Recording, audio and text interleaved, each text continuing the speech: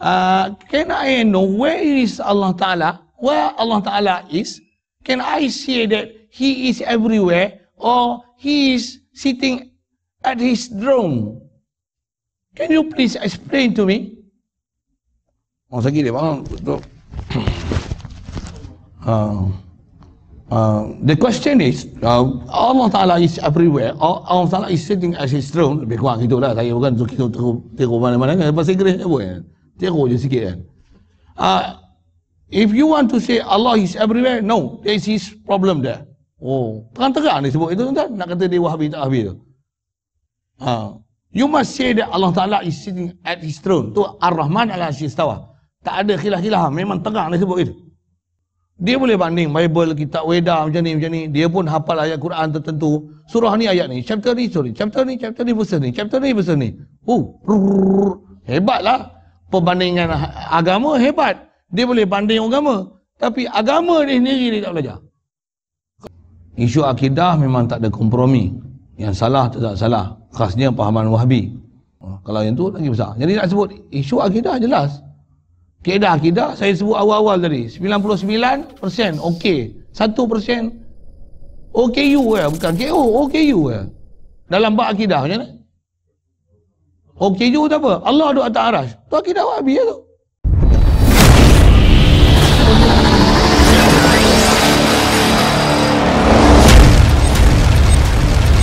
Assalamualaikum warahmatullahi wabarakatuh. Alhamdulillahirabbil alamin. Wassalatu wassalam ala asyrafil anbiya'i wal mursalin وعلى آله وأصحابه وأزواجه وذرياته وأتباعه أجمعين. سبحانك لا علم لنا إلا ما علمتنا. إنك أنت العليم الحكيم. لا حول ولا قوة إلا بالله العلي العظيم. رب اشرح لي صدري ويسر لي أمري. واحلل عقدة من لساني؟ يفقه قولي. اللهم افتح علينا بفتوح العارفين بك. اللهم اجعلنا من الذين يستمعون القول فيتبعون أحسنه. اللهم علمنا مما جهلنا وانفعنا بما علمتنا. وزدنا علما نافعا يا رب العالمين. ونعوذ بالله من شرور أنفسنا ومن سيئات أعمالنا. من يهده الله فلا مضل له ومن يضلله فلا هادي له. وبعض قال الله تعالى أعوذ بالله من الشيطان الرجيم. لا شريك له وبذلك أمرت وأنا من المسلمين. وقال يا بني لا تشرك بالله إن الشرك لظلم عظيم. صدق الله العلي العظيم. yang berusaha Imam Masjid merangkap mengurusi majlis pada pagi ini. Untuk Imam Bilal pegawai masjid Jatuh kuasa masjid Ustaz-Ustaz Ustazah-Ustazah datuk-datuk datin-datin sekalian.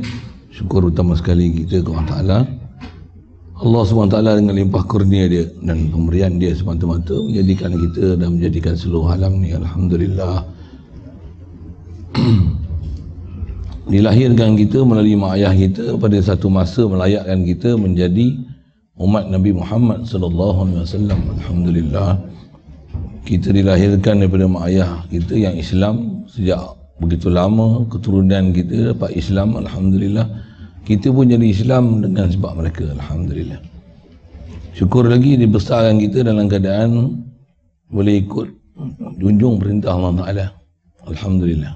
Diberikan kita pula kesempatan dan kesedaran untuk menuntut ilmu. Alhamdulillah.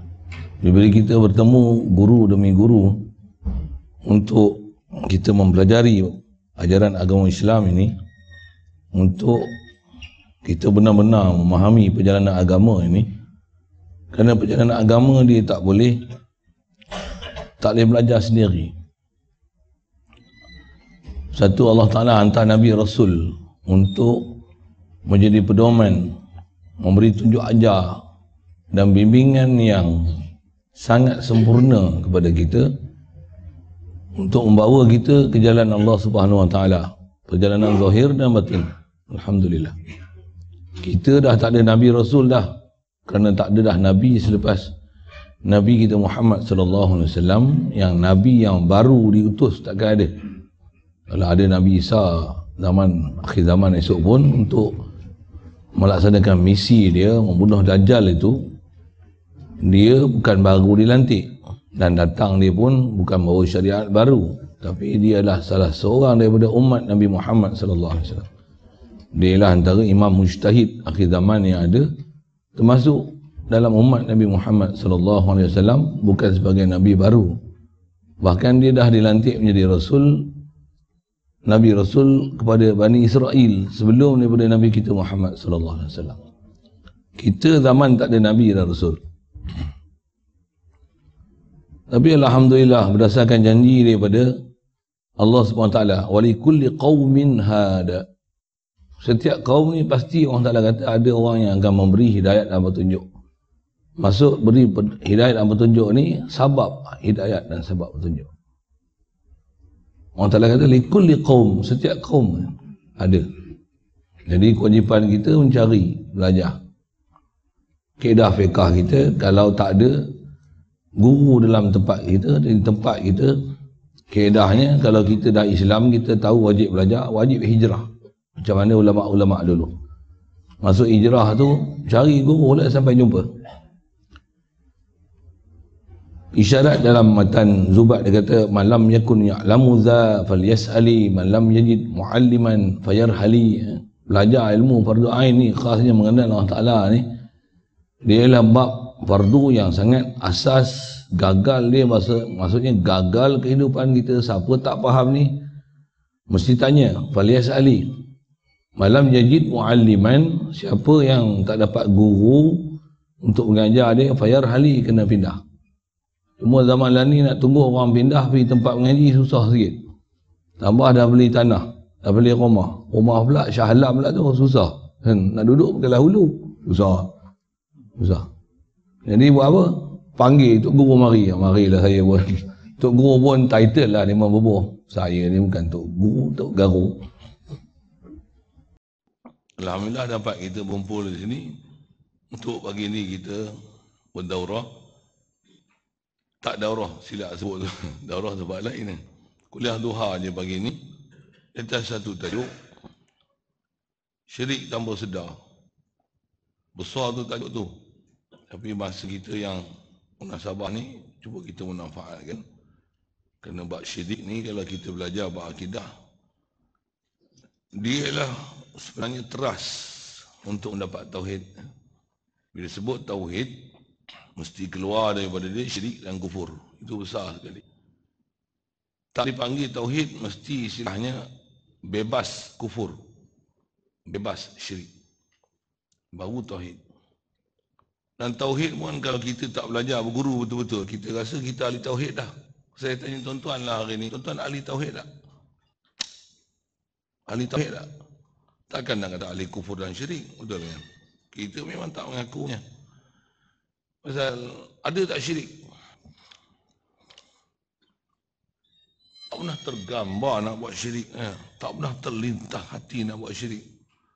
Syirik yang kita sedia maklum, syirik itu Alhamdulillah. Yang tu beranak-beranak dah dapat. Tak pernah ada perasaan nak sembah tokong. Ada tak perasaan? Dulu ada tak? InsyaAllah dulu kini samanya. Tengok tokong macam ni. Saya gaya kan senang. Oh, cukup.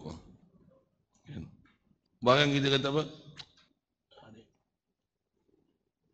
Betul tak? Alhamdulillah telah pelihara kita. Dan ingat tak dulu masa tak semayang lagi tu. Eh, saya tak tuduh tuan-tuan, saya suruh fikir kan. Masa tak semayang dulu ada tak? Sembah bahagia tak? Padahal tak sembah Allah lagi pun. Eh, semayang pun tak, semayang pun. Semayang, saya, saya mengaji yang guru sebut semayang kodok. Kodok tu, kodok tu katak lah. Apa tu? Ha, apa dia lompat? Skip, maghrib semayang, isyak semayang dah. Hmm. Oh, oh, faham ini. Baru tu ada semayang kodok ni. Hmm. Ngaji pun ngaji kapal selam. Ngaji kapal selam. Kapal selam ni kan dia semua bekal bawa je banyak. Dia hanya sekali-sekali je dalam naik come to surface kan. Ambil bekal pergi dekat dermaga mana-mana port yang ada. Pergi ambil bekal apa masuk laut. Kadang tiga bulan dalam laut tu. Bila muncul? Isra Mi'raj. Awal Muharram orang tahu cik. Maulid Rasul ada orang Islam kita itu. Tak sembah tok kong, tak sembah tok kong. Wallahi tak tok. Yang tu alhamdulillah. Bahkan orang Islam yang lain yang merempit tu, mak ganja tu, bosia, bojan tu, yang tu pun tak tak sembah tok kong. Jadi syirik tak sembah tok kong ni alhamdulillah. Kita orang tak bagi pria kita. Alhamdulillah. Yang tu syukur banyak-banyak lah. Jadi Nabi Rasul datang kat kita ni besarnya keluarkan syirik. Aduh, kita cerita syirik tu dulu. Yang ni yang common knowledge. Memang kita faham pun Alhamdulillah. Dan satu lagi untuk dapat tauhid ni, jangan kufur. Kufur pun kufur ke mana bangkang. Kufur ke mana engkar, inad. Maksudnya tolak, terima orang salah, tak terima Rasul. Yang ni pun kita ahli masjid, ahli mengaji. Tambah duduk pondok mengaji. Eh, pondok, masjid, pondok. Alhamdulillah.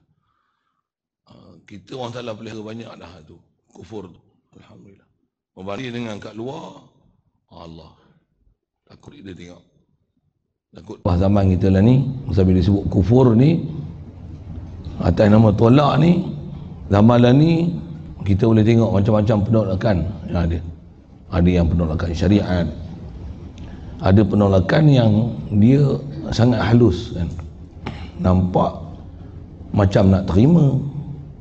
Quran hadis menerima Allah Rasul. Slogan ni pun apa? Kita hendaklah berbalik pada Quran dan hadis. Tapi orang berselawat dia marah.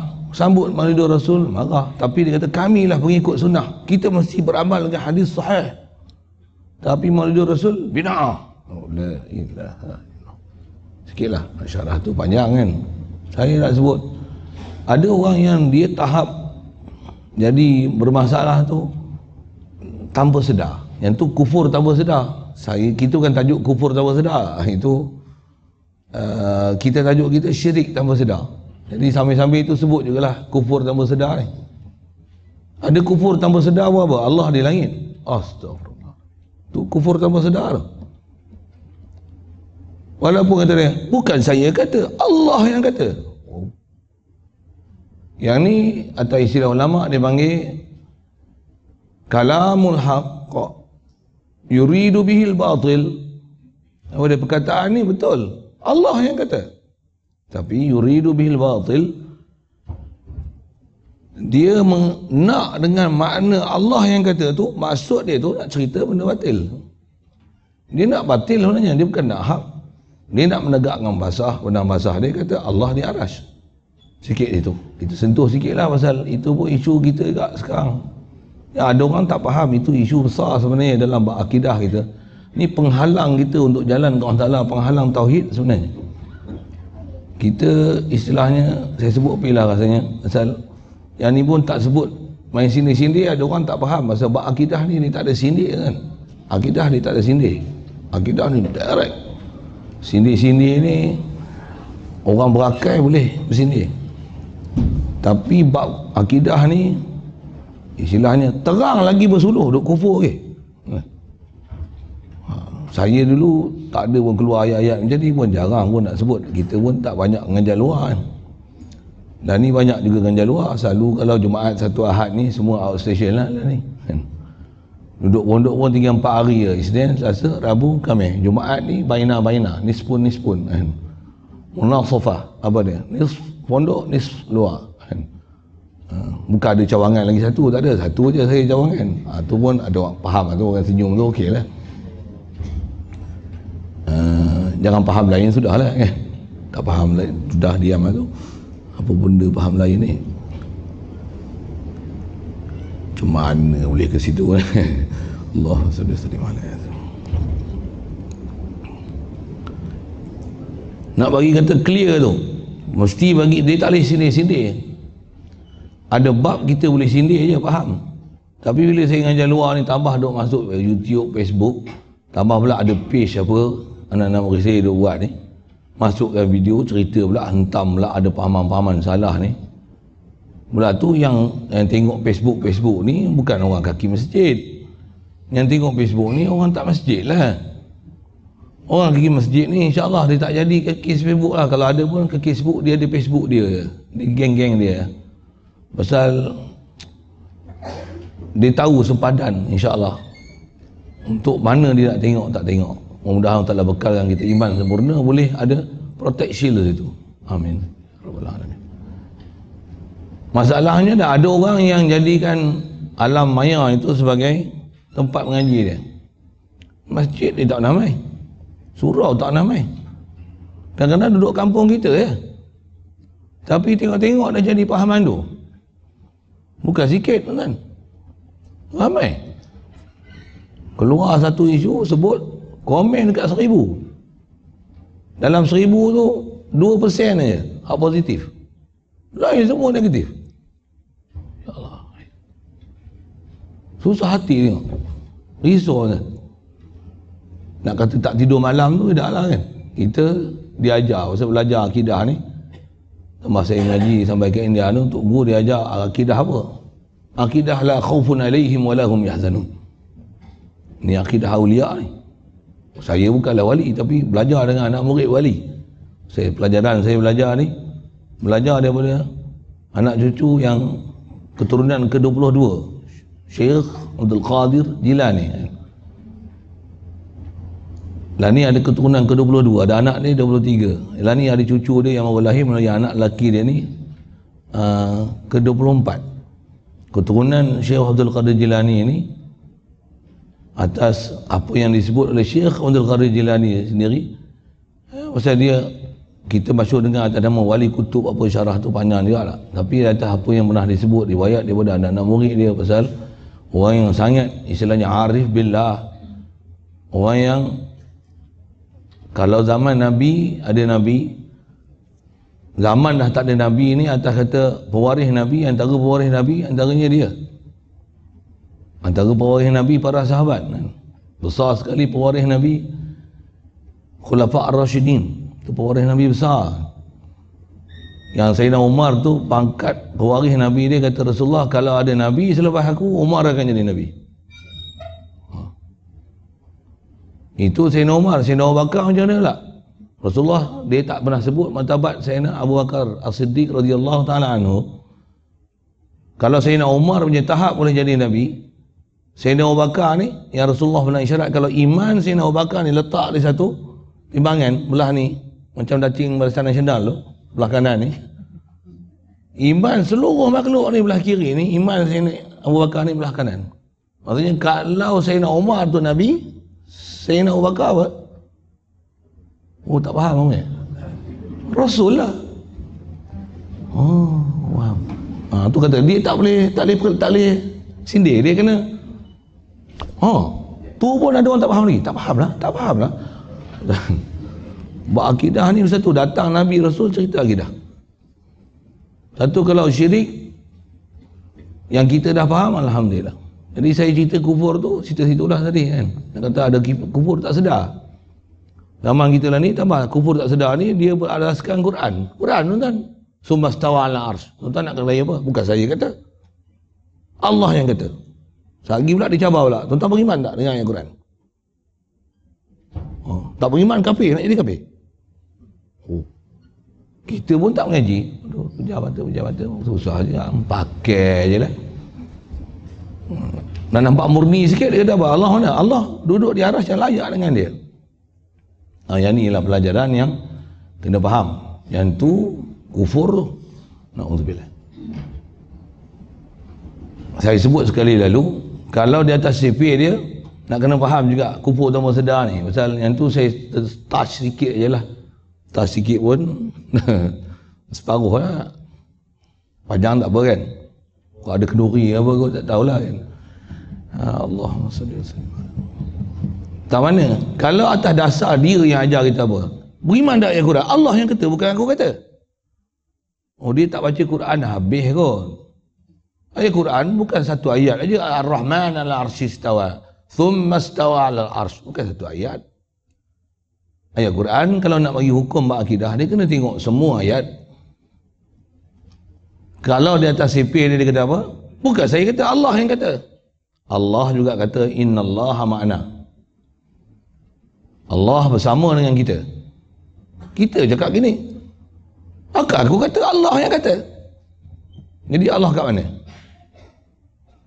Sekali lalu lah kan, kena sentuh kat tu. Pasal kita nak cerita, syirik tak bersedar, kufur tak bersedar, dia pun bagi sedar sikit. Ni kufur tu lah. Ha. Saya buat akidah ni macam tu kan, bergegar je. Saya, saya tepuk lah. Saya, ha, dia, dia, dia, dia cengih ya. Buat akidah ni macam ni. Ha, pasal buat akidah macam ni. Kalau saya ajar tasawuf, saya tak macam ni. Ajar tasawuf, dia slow sikit. Kita sentiasa ingat Allah Ta'ala kita ni makhluk Allah yang cipta kita rezeki kita Allah Ta'ala tentu azali lagi. Kita ni marzuk Allah Ar-Razzaq. Inna Allah Ar-Razzaq Zul quwwatil matin. Ni kita ha, tasawuf aja bunyi gitu. Akidah tak boleh. Akidah. Ha, Allah Ta'ala no, ada orang dia ajar akidah. Akidah sesat. Tapi dia ajar macam ni. Ar-Rahmanu alal arsyistawa Allah ni duduk di atas aras dia duduk di atas aras yang layak dengan dia kita pun dengan Tok ni lembutnya kan? dengar saya ngajar ustaz ni keras sangatlah tak ada akhlak. Oh walaupun perkataan dia kufur dengan sebab lemah lembut dia tertawan perkataan lembut tapi perkataan tu kufur kan ha, ramalan ni dia macam tu nak sebut macam mana ha, dia jadi macam tu. Dia jadi bercelaru macam tu kan? Dan bila buat akidah tuan-tuan di ibarat macam rumah tuan-tuan tuan-tuan ada isteri ada orang ceroboh ha, macam itu ceroboh. Ni dia buat anak dara tuan-tuan buat lari. Macam mana? Buat lari masuk kelabun kepala sawit. Lain tu tak payah cerita lah. Faham lah kan? Macam takkan dia kata cobaan ok macam tu kot. Tuan-tuan bak syirik dan kufur ni dia berislam ceroboh akidah weh. Bukan ceroboh biasa kan. Kalau tak suruh bagi orang tak semayang, lalai dengan muzik, dengan bola sepak, dengan sukan lah, apalah. Tari menari apa, minum arak. Yang tu masih dosa tu, dosa dosa zahir, dosa jasad kan. Maksiat pun pasti. Bukanlah nak pelekehkan, nak main, nak ringan-ringankan dosa tu, tidak lah kan. Tapi maksudnya, dosa tu pun dah orang kata besar dah. Kalau yang tu besar, dosa akidah lagi besar tu. Pasal dosa akidah ni, kalau enam tolak satu tu kosong. Enam. Enam ribu ayat Quran tolak satu kosong. Kalau kira persen, 99.9. Oh, perpuluhan 9. 0.01 je. Salah. Macam mana? Berapa? Tak faham kot. 99.9 okey 0.01 je masalah bab akidah macam mana iya ke Bukan okey ke kan? Bukan A, A plus ke tu? Tak, kosong.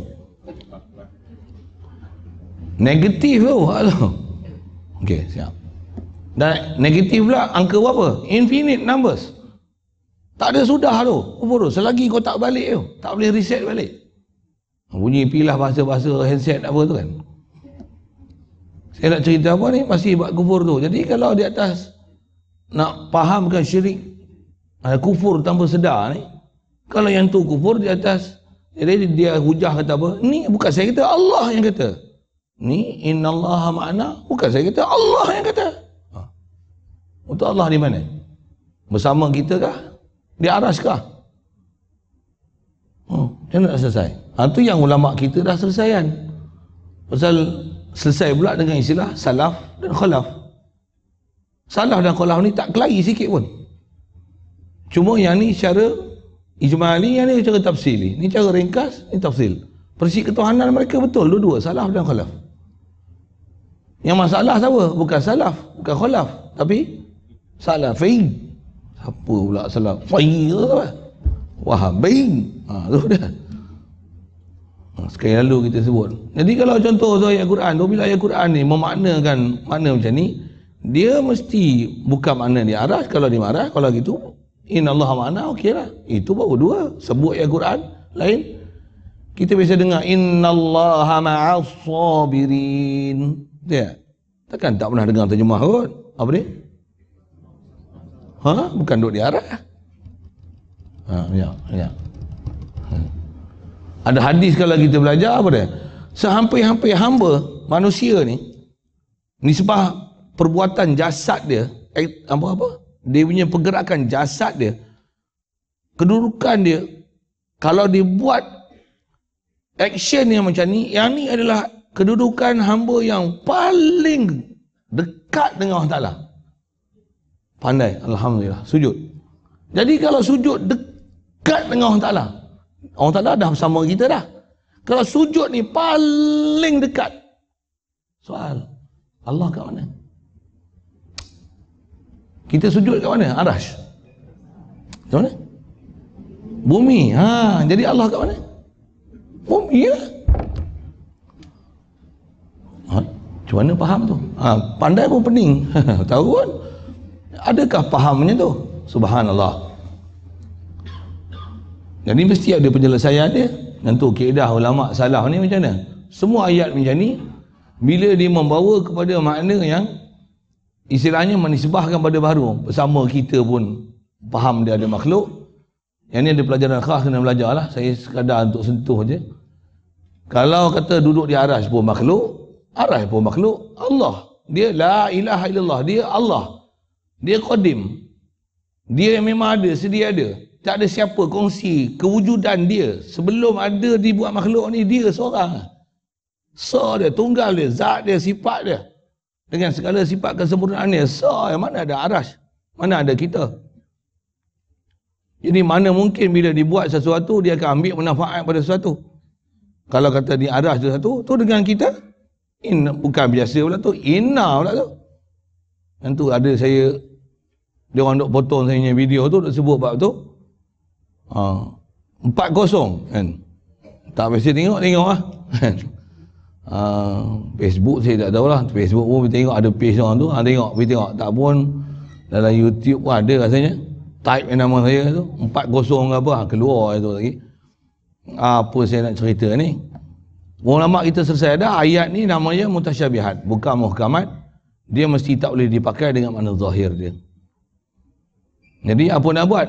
Mesti beriman dengan ayat Quran ni mesti.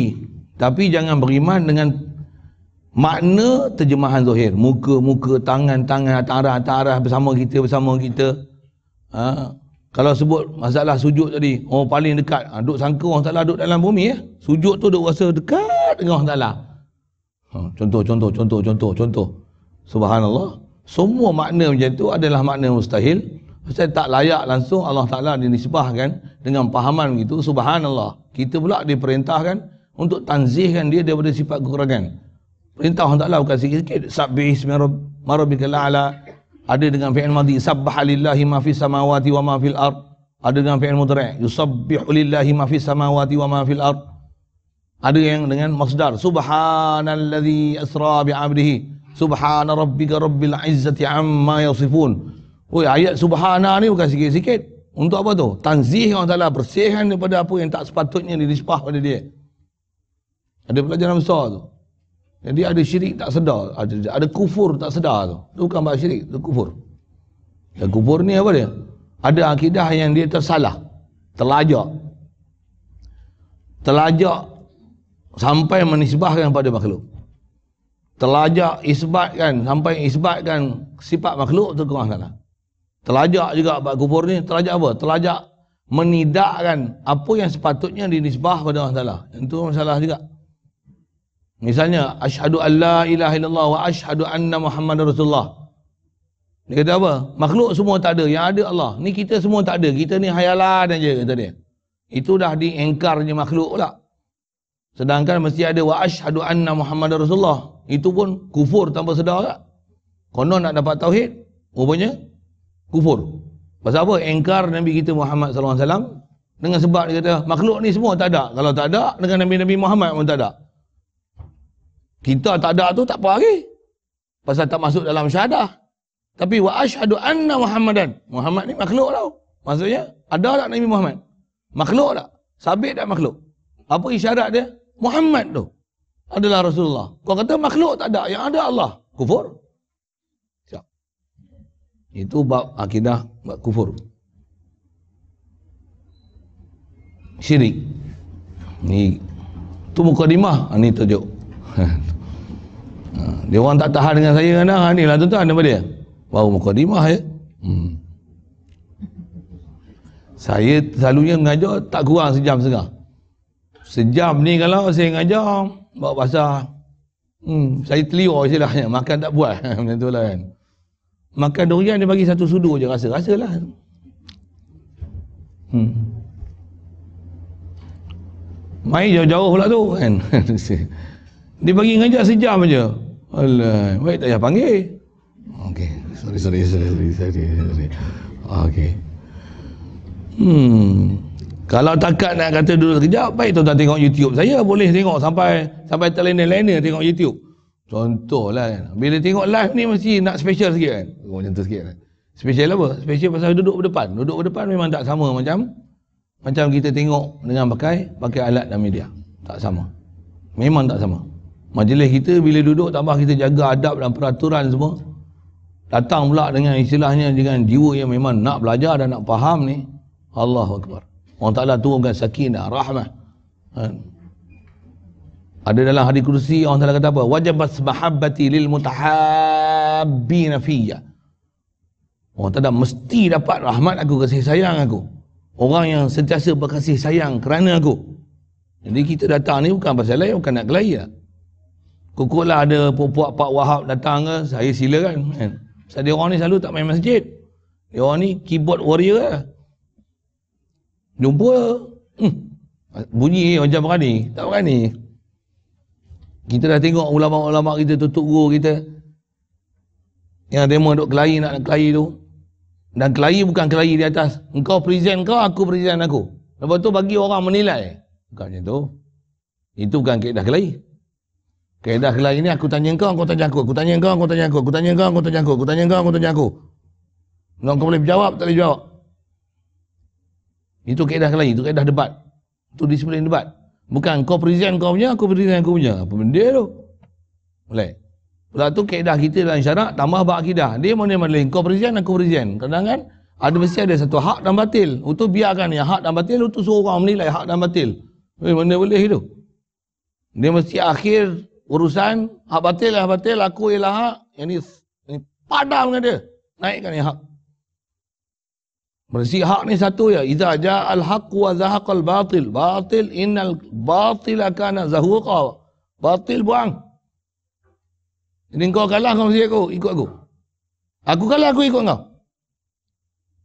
Tak adalah lapor nak ikut dia. Kan? Pasal apa? Yakin tu apa yang kita belajar dengan Tok Guru ajar. Dan setelah kita pun mengaji dengan Tok Guru ajar disiplin ilmu satu-satu-satu.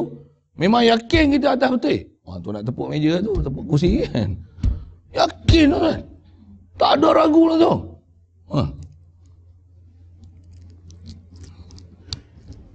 Kalau macam tu punya debat, okey, setuju. Boleh. Ha. Kalau nak present-present ya, kita tengoklah banyak dah macam-macam present. Tapi tak selesai dah. Dia akan tunjuk skill dia lah. Ni ni ni ni ni saya kata, oh yang ni ada title. Kita tak ada title. Orang akan tengok tang title, kalau ikut dia bukan tang title tu. Sikitlah, gitu.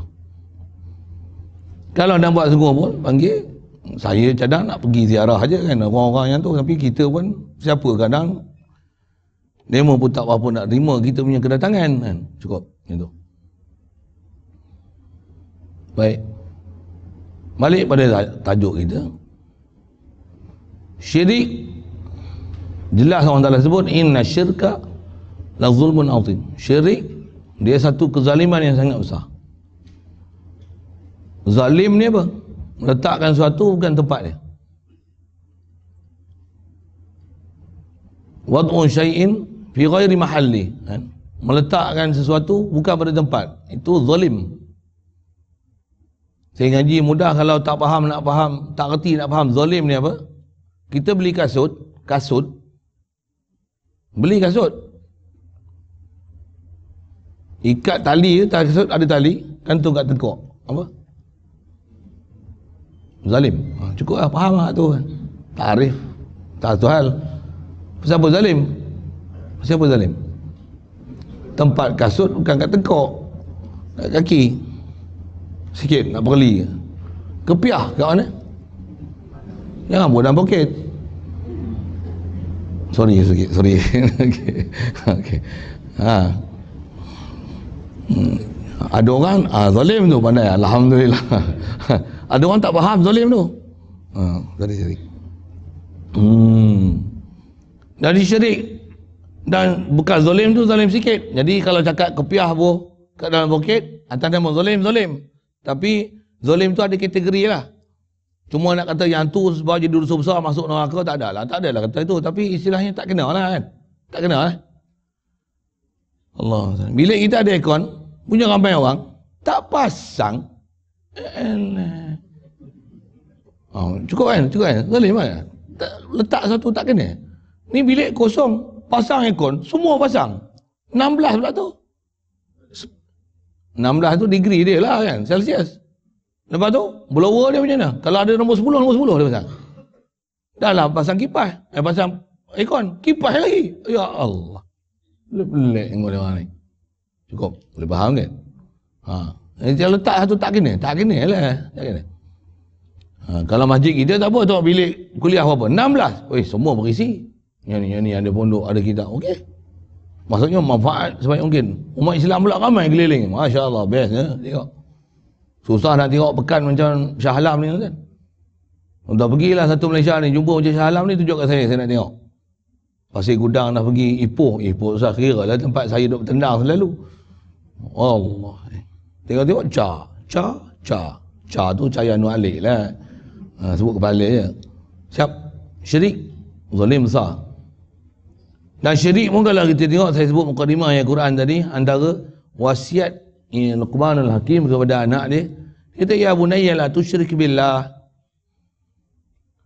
wahai anak aku janganlah kau syirik dengan Allah Taala ha, kita kalau baca ayat Quran tu kita tak rasa apa-apa tuan-tuan macam apa aku mana ada syirik Agak-agak Luqmanul Hakim dia ajar ke anak dia jangan syirik billah tu agak-agak janganlah sebab tokong. Agak-agak tu ya. Oh, kan. Maksudnya kalau tuan tak pernah faham lagi lah syirik kalau itu. Syirik yang ditegah oleh Luqmanul Hakim dan dia nasihat kepada anak dia. Jangan syirik dengan Allah Ta'ala dan kita pun mengaku dalam sembahyang tu. Apa? La syarika lahu. Kan kita memang sebut tu kan? Ya Allah kat engkau ni. La syarikalah tak ada sebarang sekutu untuk engkau. Wa bidzalika umirtu. Dengan itulah dengan tak ada syirik ni lah aku ni diperintahkan. Dengan sebab tak ada syirik ni lah bau. Kalau asal Quran wa ana awwalul mu'minin. Mu'minin tak ayat Quran tu. Ha, ni dia? Tempat rujukan tu wa ana awwalul mu'minin kita selalu sebut la syarikalahu wa bidzalika umirtu wa ana minal muslimin kan Maksudnya tak ada syirik bahawa Muslim betul. Sejati. Hakiki Muslim. Mukmin. Ada syirik? Macam mana? Wes. Dah ada syirik, syirik dalam sebab intiqad. Dah ada syirik, syirik dalam sebab nafsu. Oh, atas syarahan ulama. Kalau nak perincikan tu macam itulah. Kita sebut sekali lalu. Jadi syirik pertama dalam bab intiqad. Syirik jadi kufur sekali lalu saya sebut syirik, satu saya sebut yang kufur tadi. Kufur yang mana ingkar. Jadi asal nak sebut syirik tu bila tak ada kufur, tak ada syirik baru dapat tauhid. Baik kita ke tauhid sikit dulu. Oh balik nanti kita tengok ke syirik. Tauhid kita yang kita duk faham yang common knowledge banyak-banyak pun kita faham lah walaupun tak faham. Anda pun faham yang istilah common knowledge yang kita faham tauhid apa dia? Mengasakan Allah Taala cukup kan? Asa pun kita kata apa? Tak ada tuhan lain melainkan Allah. Kita faham tuhan tu apa? Sembah aja itu yang memang kita faham lah boleh kata siapa-siapa pun faham macam tu. Itu yang yang jelas kita dah faham. Itu je ke nak kena faham tauhid ha, yang tu yang kena belajar khas tu insyaallah kita ni khas jugalah sebab nak memahamkan syirik cuma kalau takat saya katalah saya sebut ni daripada tadi sampai habis lagi 2 jam. Ha, padan tak padan 2 jam untuk hilangkan syirik. Ha, tu. Pasal dah faham, dah ada penyakit, kena buat rawatan tak? Kena? Dah faham penyakit, kena buat rawatan tak? Yang ni baru detect penyakit. Baru masuk MRI. Scan tengok, tu dia.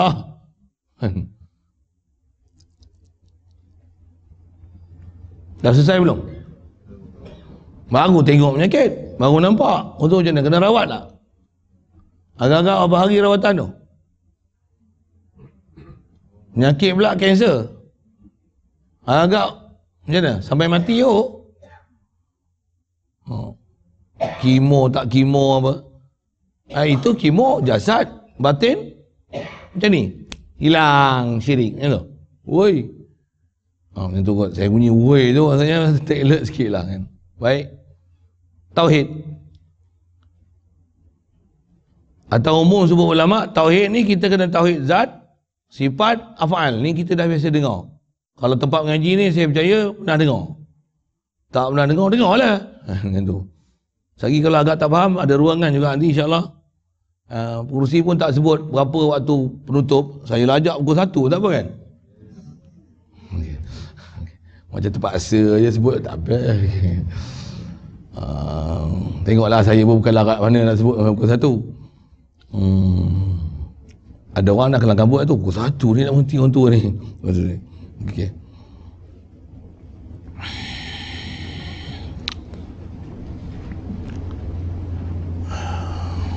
Allahumma salli alaihi Berubat. Jadi bila dah dapat penyakit, tahu nak kena berubat kan? Jadi bila kata nak berubat, eh, memang tak cukup. Memang kena berguru betul untuk menghilangkan penyakit syirik. Itu asal sebut dia. Baik. Jadi kita nak dapat tauhid. Tauhid yang kita faham mengasakan Allah Taala mesti mengasakan zat, sifat, afal. Itu umum sebut. Saya nak sebut dengan satu perkataan ringkas saja yang saya antara saya mengaji. Perkataan memang ringkas tapi nak memperolehkan tauhid ni ya Allah. Kalau saya saya sebut pengajian takat saya terima belajar sampai sekarang pun duk belajar lagi. Ni insya-Allah nak pergi lagi bulan 11 ni insya-Allah. Ke India untuk memang proses belajar tauhid. Saya belajar bukan saja teori tapi nak praktikal macam mana nak praktikal tauhid. Pasal tauhid ni dia bukan pelajaran belajar-belajar faham tutup buku selesai. Tauhid tu simpan. Nak tauhid ni dia dia praktikal harian bahkan lagi dipraktikkan daripada makan dan minum. Lagi praktik daripada pakaian yang kita pakai. Lagi praktikal daripada rumah yang kita tinggal. Lagi praktikal daripada duit yang kita spend belanja untuk harian. Lagi praktikal daripada anak isteri kita. Yang ni isteri dan anak-anak kita tanggungjawab apa. Tengok anak pun bukan hari-hari. Waktu-waktu tertentu bagi belanja hantar apa. Hanya ada waktu tertentu dengan isteri pun ada hubungan hanya waktu tertentu. Tauhid dengan Allah Ta'ala ni full time. Tauhid full time. Dia bukan simpan dalam buku. Kita selalu tauhid apa simpan dalam buku je lah belajar Allah rasa cukup untuk macam mana nak bawa tauhid tu? Bila tak bawa tauhid, maksudnya kita duk sentiasa kufur, satu, syirik. Kufur, syirik. Dia tak kufur, syirik. Dan kalau saya sebut zat, sifat, af'al ni, kalau tak betul, dia akan syirik dalam bab zat. Dia akan syirik dalam bab sifat. Dia akan syirik dalam bab af'al. Kalau bab kufur, sama tak? Dia akan kufur dalam bab zat, kufur dalam bab sifat, kufur dalam bab af'al. Boleh jadi kufur tu. Oh, kita ay, tak bisa dengar pun. Dengar lah. Baik. Jadi saya nak sebut zat sifat afal tu satu pun kalau saya nak detail panjang saya nak kata ada satu je benda nak sebut. InsyaAllah mudah je faham. Dan bila faham ni kena 10 orang kena cari, kena belajar. Memang kena berguru sungguh dalam bab ni.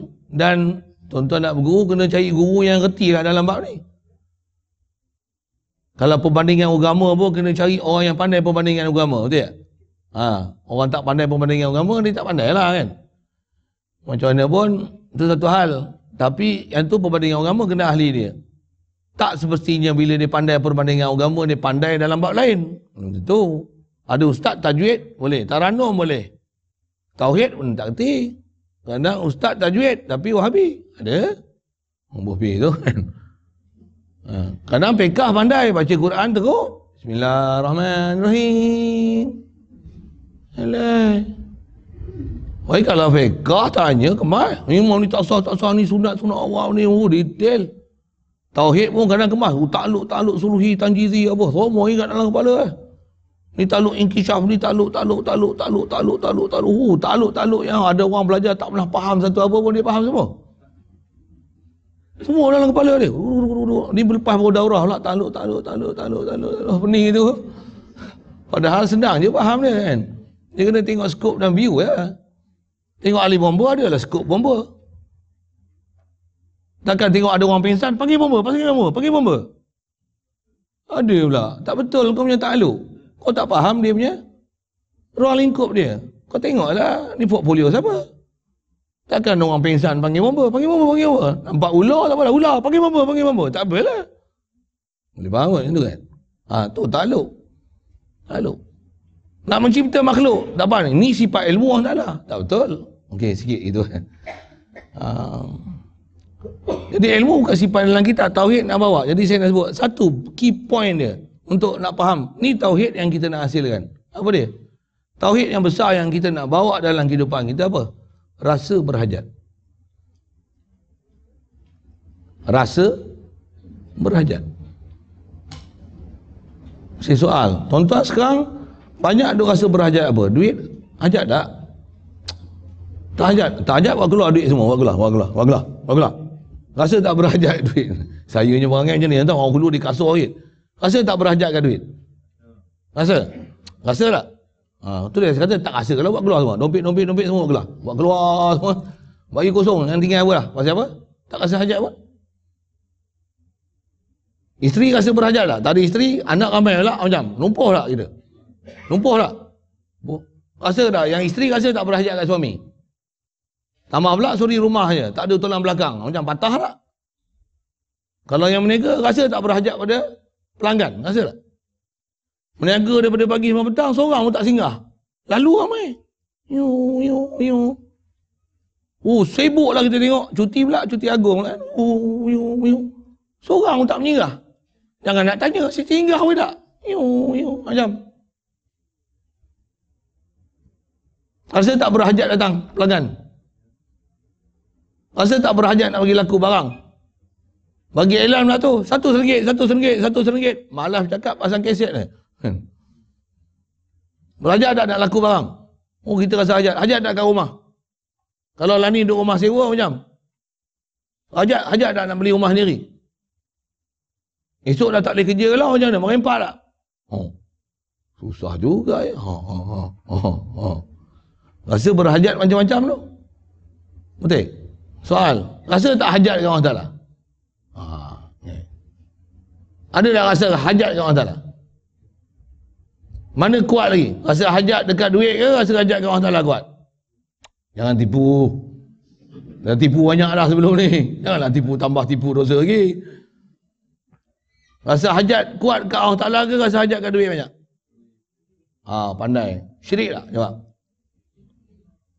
Sendiri jawab, bukan saya tuduh. Hmm, sendiri yang jawab. Tak mana syirik.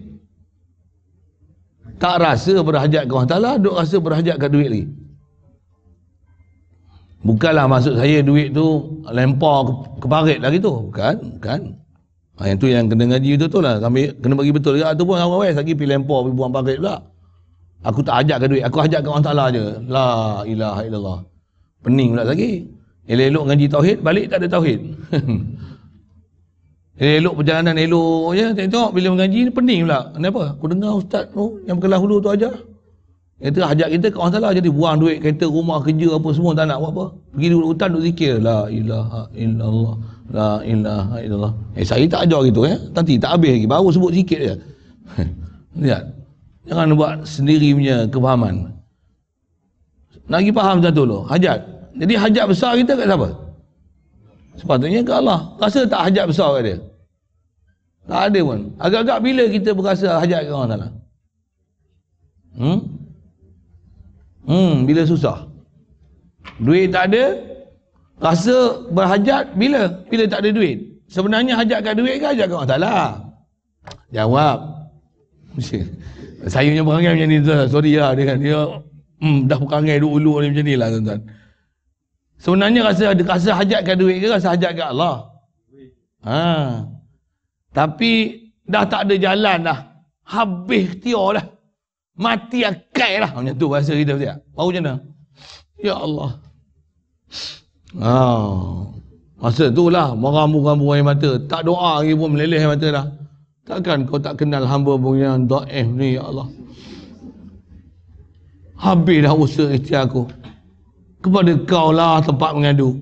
Inilah kita. Saya bukan uh, penceramah PU eh, bukan eh.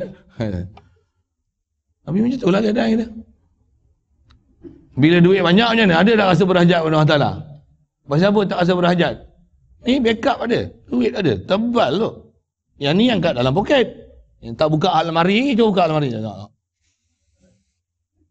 Contoh lah kan, contoh, contoh, contoh. Nak menunjukkan, pasal apa kita tak rasa berajak Allah Ta'ala? Pasal kita duk rasa cukup dan memada dengan apa yang ada kat kita. Bila kita nak rasa berhajat pada dia? Kita rasa berhajat dan pergantungan diri kita kat siapa? Oh, duit. Kalau kita isteri, ada rasa apa tak? Eh, tak ada, saya relax, saya tawakal je lah ni. Rasa apa?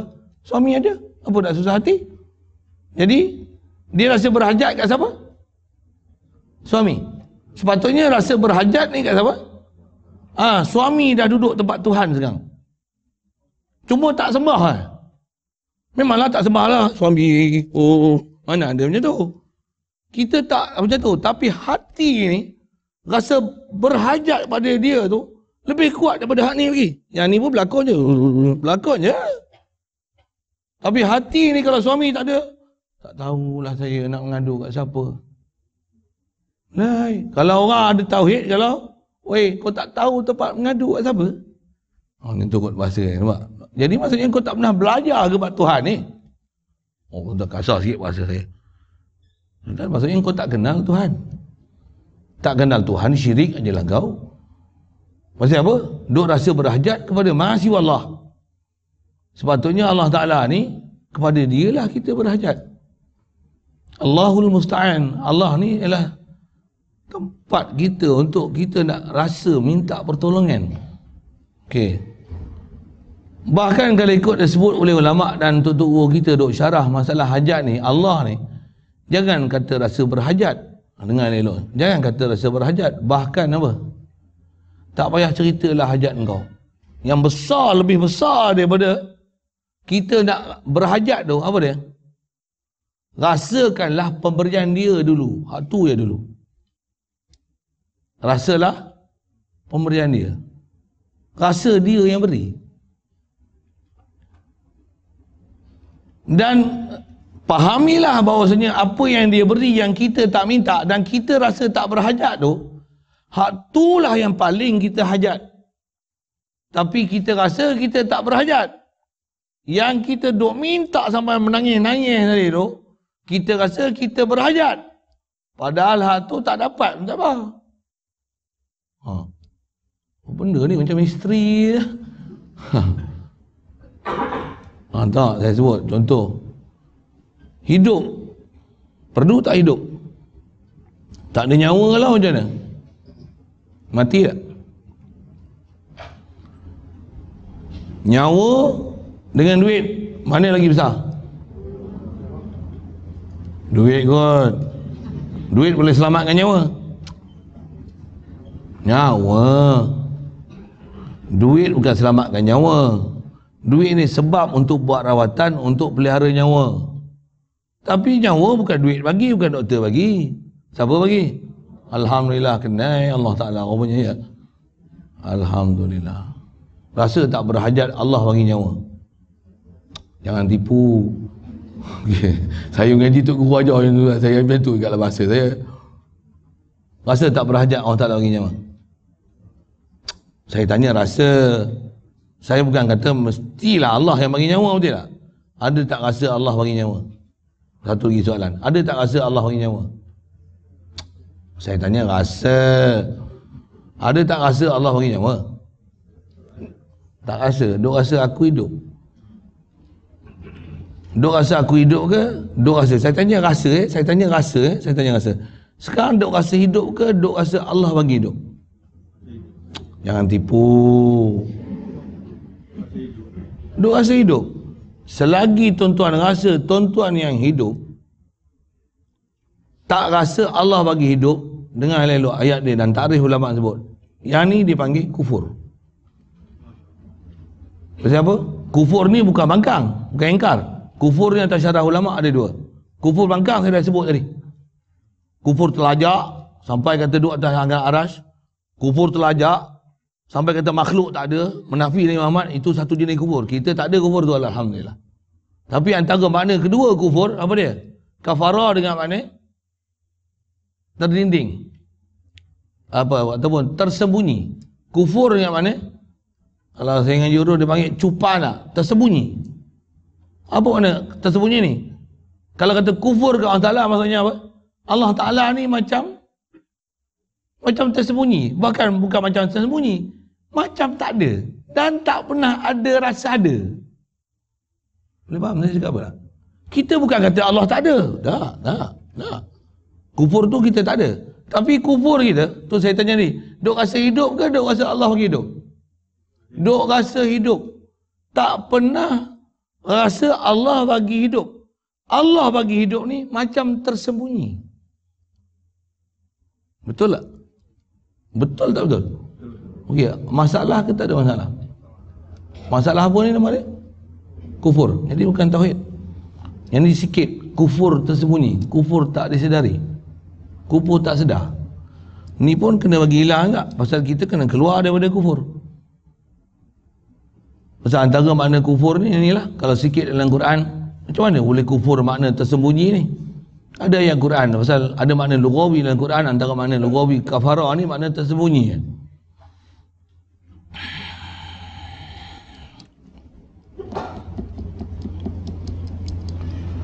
Kama salil kufari iz a'jaba.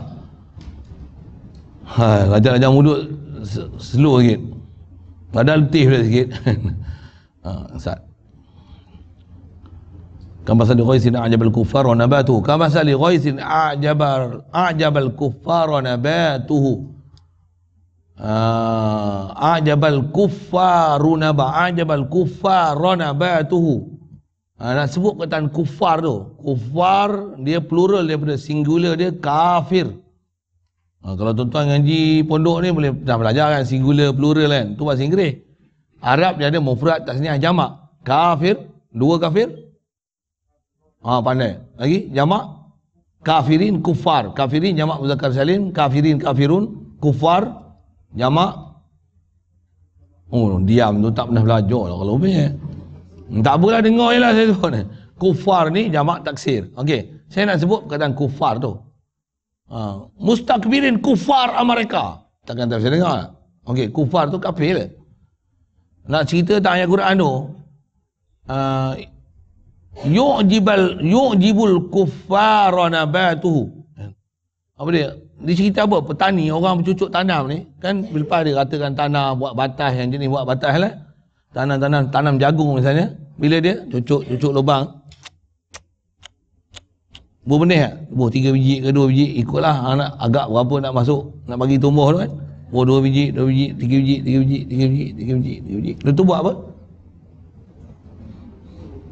Ke biar gitu ya biar gitu saja. Main burung apa makan lah weh. Nak buat apa kenapa ha, kampus tu istilahnya kafir pasal apa kafir pasal apa orang tutup benih yang ada bubuh tu tutup tu dipanggil kafir pasal dia sembunyi kan benih tu pandai Alhamdulillah jadi antara mana kufar ni sembunyi kafir ni antara mana sembunyi jadi Allah tersembunyi tak daripada kita Tersembunyi tak? Sekali lagi tanya. Hidup tak? Awal lagi saya tanya tu. Sekarang ada, ada ke tak ada? Ada. Duk rasa ada ke? Duk rasa Allah lagi ada? Jangan tipu lah. Kali kita banyak kali lah sebut ni jangan tipu ni. Duk rasa ada ke? Duk rasa Allah lagi ada? Duk rasa ada? Kapi.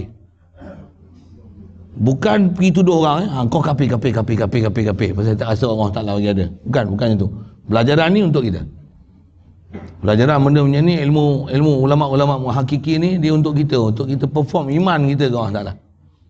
Ilmu macam ni, ilmu bukan untuk pergi tunjuk ke orang. Ilmu ni untuk tunjuk ni. Sini. Tunjuk kita. Macam kita lah yang masalah tu, orang kita mana tahu dia. Pasal benda macam ni, orang lain tak boleh tahu. Macam kita sendiri. Quran isyarat. Balil insanu ala nafsihi basirah. Insan ni atas diri dia sendiri dia basirah. Dia bukan basir. Basirah. Dia boleh nampak zahir batin dia. Saya cakap macam ni yang akan bagi hukum ni tuan-tuan ni bukan saya. Saya sebut tu dalam konteks saya. Tuan-tuan akan jawab tu, tu saya kata jangan tipu. Maksudnya buat apa? Nak menipu diri. Jawab betul lah. Yang kita ni, kita nampak kita apa? Kita tahu apa condition kita sekarang. Jadi kalau kita dengan Allah Ta'ala ni seolah-olah Allah ni tersembunyi. Nisbah tak nampak dengan mata memanglah invisible. Dia ghaib kan. Ghaib pandangan mata. Sepatutnya sepatutnya zahir di hati kita. Tapi zahir tak. Tak ghaib zahir dan batin tu punya. Satu Allah Ta'ala ni, kita ni, kita syahadah Allah Ta'ala, apa? Ashadu. Ashadu apa maksud? Saksi. Bahasa lain saksi apa? Aku nampak. Dan nampak ni bukan nampak zahir. Nampak batin. Apa dia? La ilaha illallah. Bukan nampak Allah. Tapi nampak dengan apa? Nampak dengan ilmu. Bahasa kita sebut nampak dengan hati. Nak masuk dalam hati ni macam mana? Akal. Ilmu. Belajar. Faham. Kenal. Ada disiplin satu-satu-satu. Barulah ashadu an la ilaha illallah. Nak kata Allah ni ilah. Tak mana ilah ni? Aku berhajat kat dia. Saya nak syarah tu. Sekarang memang kita berhajat kat orang Ta'ala kan? Berhajat apa? Tu yang ulama dan tuturu kita duk syarah, kita belajar dalam tauhid sifat ma'ani. Sifat ma'ani dia apa? Cuba kira tengok ada. Bukan satu, dua, tiga, bukan. apa? Ha, kita selalu dengar bilangan kudrat, iradat. Tak erti bilang ni wahabi kot. Usah. Wahabi usik tu. Eh Wahabi, dia bukan kata bilang. Bidah! Dia kata. Ngaji sifat 20. Nabi tak pernah ajar sifat 20. Nabi memanglah tak pernah ajar bilang satu-satu sifat 20 wujud kidam bakok. Kalau nak kata gitu, Nabi tak pernah ajar ma'rif bisukun. Nabi tak pernah ngajar PL fa'il. Nabi tak pernah tak pernah ajar alih bata. Apa kata gitu? Nabi tak pernah ajar tasawuf. Nabi tak pernah ajar pekah. Memanglah mana ada. Hari ni kita belajar pekah ya. Ada macam tu Rasulullah. Tapi dia ajar tak fiqh. Dia ajar tak tasawuf. Dia ajar tak tauhid. Dia Allah ajar ada Allah wujud. Dia ajar ada Allah Ta'ala kidam. Dia ajar ada disebah ajar tu. Ajar tak? Cuma tak ada nama lah. Rasulullah ajar tak kiraat Hafs riwayat Asim? Ajar. Tapi masa tu bukan nama tu. Belakang maupun nama. Rasulullah ajar tak ikhlas? Ajar. Tapi tak ada istilah tasawuf masa tu. Belakang baru ada nama tasawuf. Rasulullah ajar tak usalli pada hakikatnya? ajar. Tapi masa tu tak adalah usolli. Belakang tu zaman Imam Syafi'i baru nak semayang. Usolli tu lafaz niat dia. Nawaitu sawma qadin. Nawaitul hajja wa ahram tu bihi lillahi ta'ala. Rasulullah ajar tu sebenarnya. Tapi tak adalah subjek pekah. Tak adalah atas nama macam tu. Satu yang ulama kita tolong explore kan semua tu. Ha, dia yang tolong mudahkan kita. Ambil ni satu ilmu, satu, satu, satu ilmu. Belajar semua. Kita nak explore sendiri bukan senang. Okey. Kudrat, iradat, ilmu, hayat, sama, basar, kalam. Tu asal bicara kita. Ha. Kita berhajat tak pada kuasa orang Ta'ala beri? Kita kuasa ni pasal minum Milo ke? Satu minum Milo, kalau tuan-tuan akidah dia Milo, sesat selama-lamanya. Milo, Milo, anda jadi. Apa? Oh, memang pengaruh dengan elan kuat, tuan-tuan. Sepatutnya Milo, Milo sebab anda jadi sihat dan kuat. Baru ayat tu cantik sikit. Dia baru ingat ke Allah tu. Yang bagi kuat sihat siapa? Allah. Milo apa? Sebab. Kena minum tak? Kena tu tengok atas keperluan lah. Tapi sebut milu pun tak apa elok kan. Sebab apa? Iman, iman koko. Sebab anda sehat dan kuat. Nak cerita apa? Muslim produk kan kempen Muslim produk ni. Alah, tak faham pula dia orang. Tak usah elah Maggi mi lah. Maggi mi cepat dia masak. Tak mau lah kita tukar seni kata tu. Dah lama lah ni. Lekat ni tak nak buang tak boleh. Kita reka, reka. Lirik baru lah ni. Apa dia? Mi adabi. Cepat dimasak. Sedap dimakan. Hmm. Boleh faham lebih kurang kan? Yang tu tentang reka. Ni saya bukan ahli lirik. Bukan ahli-ahli muzik kan. Nak reka-reka tu. Bukan sastrawan pun. Nak cerita bahasa-bahasa macam tu. Tapi yang tu sikit menyambil tu. Jadi nak sebut apa? Saya nak sebut asal kita hajat besar. Allah Ta'ala tak beri kederat kat kita. Apa kita nak buat?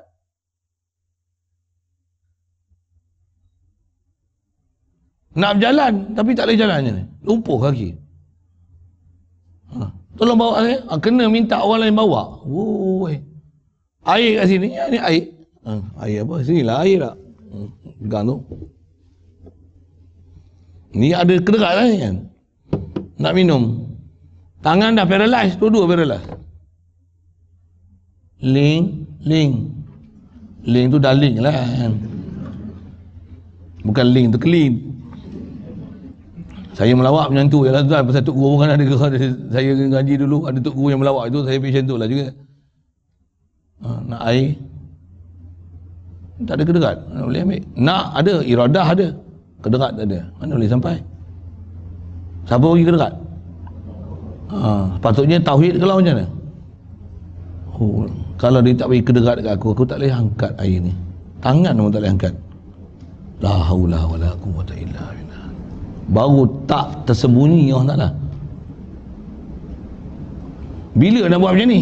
Yang ni baru angkat air. Bercakap. Siapa pergi bercakap?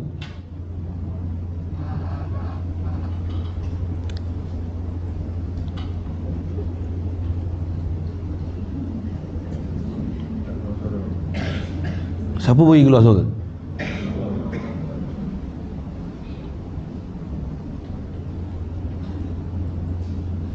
Kedak ada. Kederat ada. Suara tak keluar. Masa tu baru rasa, Ya Allah, engkau lah boleh bagi keluar suara. Baru dapat tauhid masa tu. Astagfirullah. Baru rasa berhajat. Jadi masalah kita apa? kita tak rasa semua nikmat-nikmat yang besar Allah Ta'ala beri ni kudrat, iradat, ilmu, hayat, sabar, basar, kalam ni dia yang duk bagi ha. Sepatutnya atas rasa saya nak sebut rasa berhajat tak yang ni lah hajat kita besar sekali mana lagi hajat besar makan ke bercakap kalau tuan-tuan lapar nak makan tapi tak boleh bercakap hmm.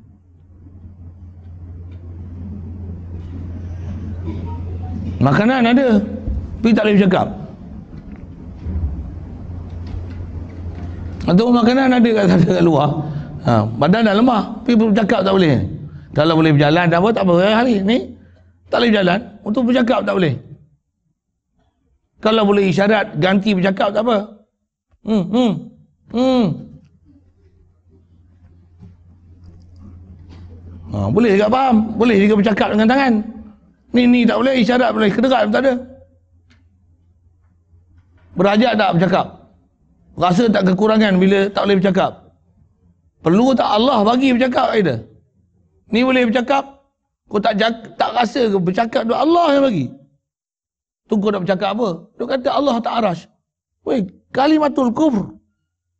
Kau tak amanah dengan mulut kau. Tak rasa pun kianat. Weh, tuan banyak jenayah kita ni sikit saya sebut itu jadi kalau kita tak sebut tu pun apa masalah kita kita tak syukur tak rasa dia beri kita tu tak rasa dia kat kita duk rasa apa duk rasa Allah bagi bercakap ke duk rasa bercakap sekarang ni sekarang saya dah ada bercakap kan ni saya dah bercakap ni atas akidah ni sepatutnya macam mana bukan aku ni aku bercakap dengan daya upaya Allah bagi aku bercakap sentiasa kena sedar tu saya tak nak sebut gini sikit. Saya cerita hai saya sikit. Macam ni. Tentang bercakap ni.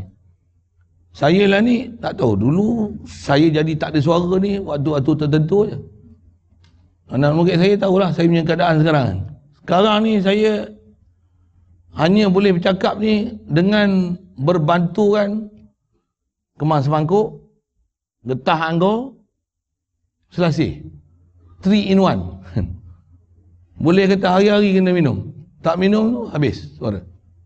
Saya akan cakap macam ni. Saya rasa hikmah pun aku nak mengaji selama ni aku tak rasa apa-apa kan mengajar kat dia. Duk belajar pun macam tu je. Tapi bila nak mengajar pula tu saya punya option memang mengajar eh.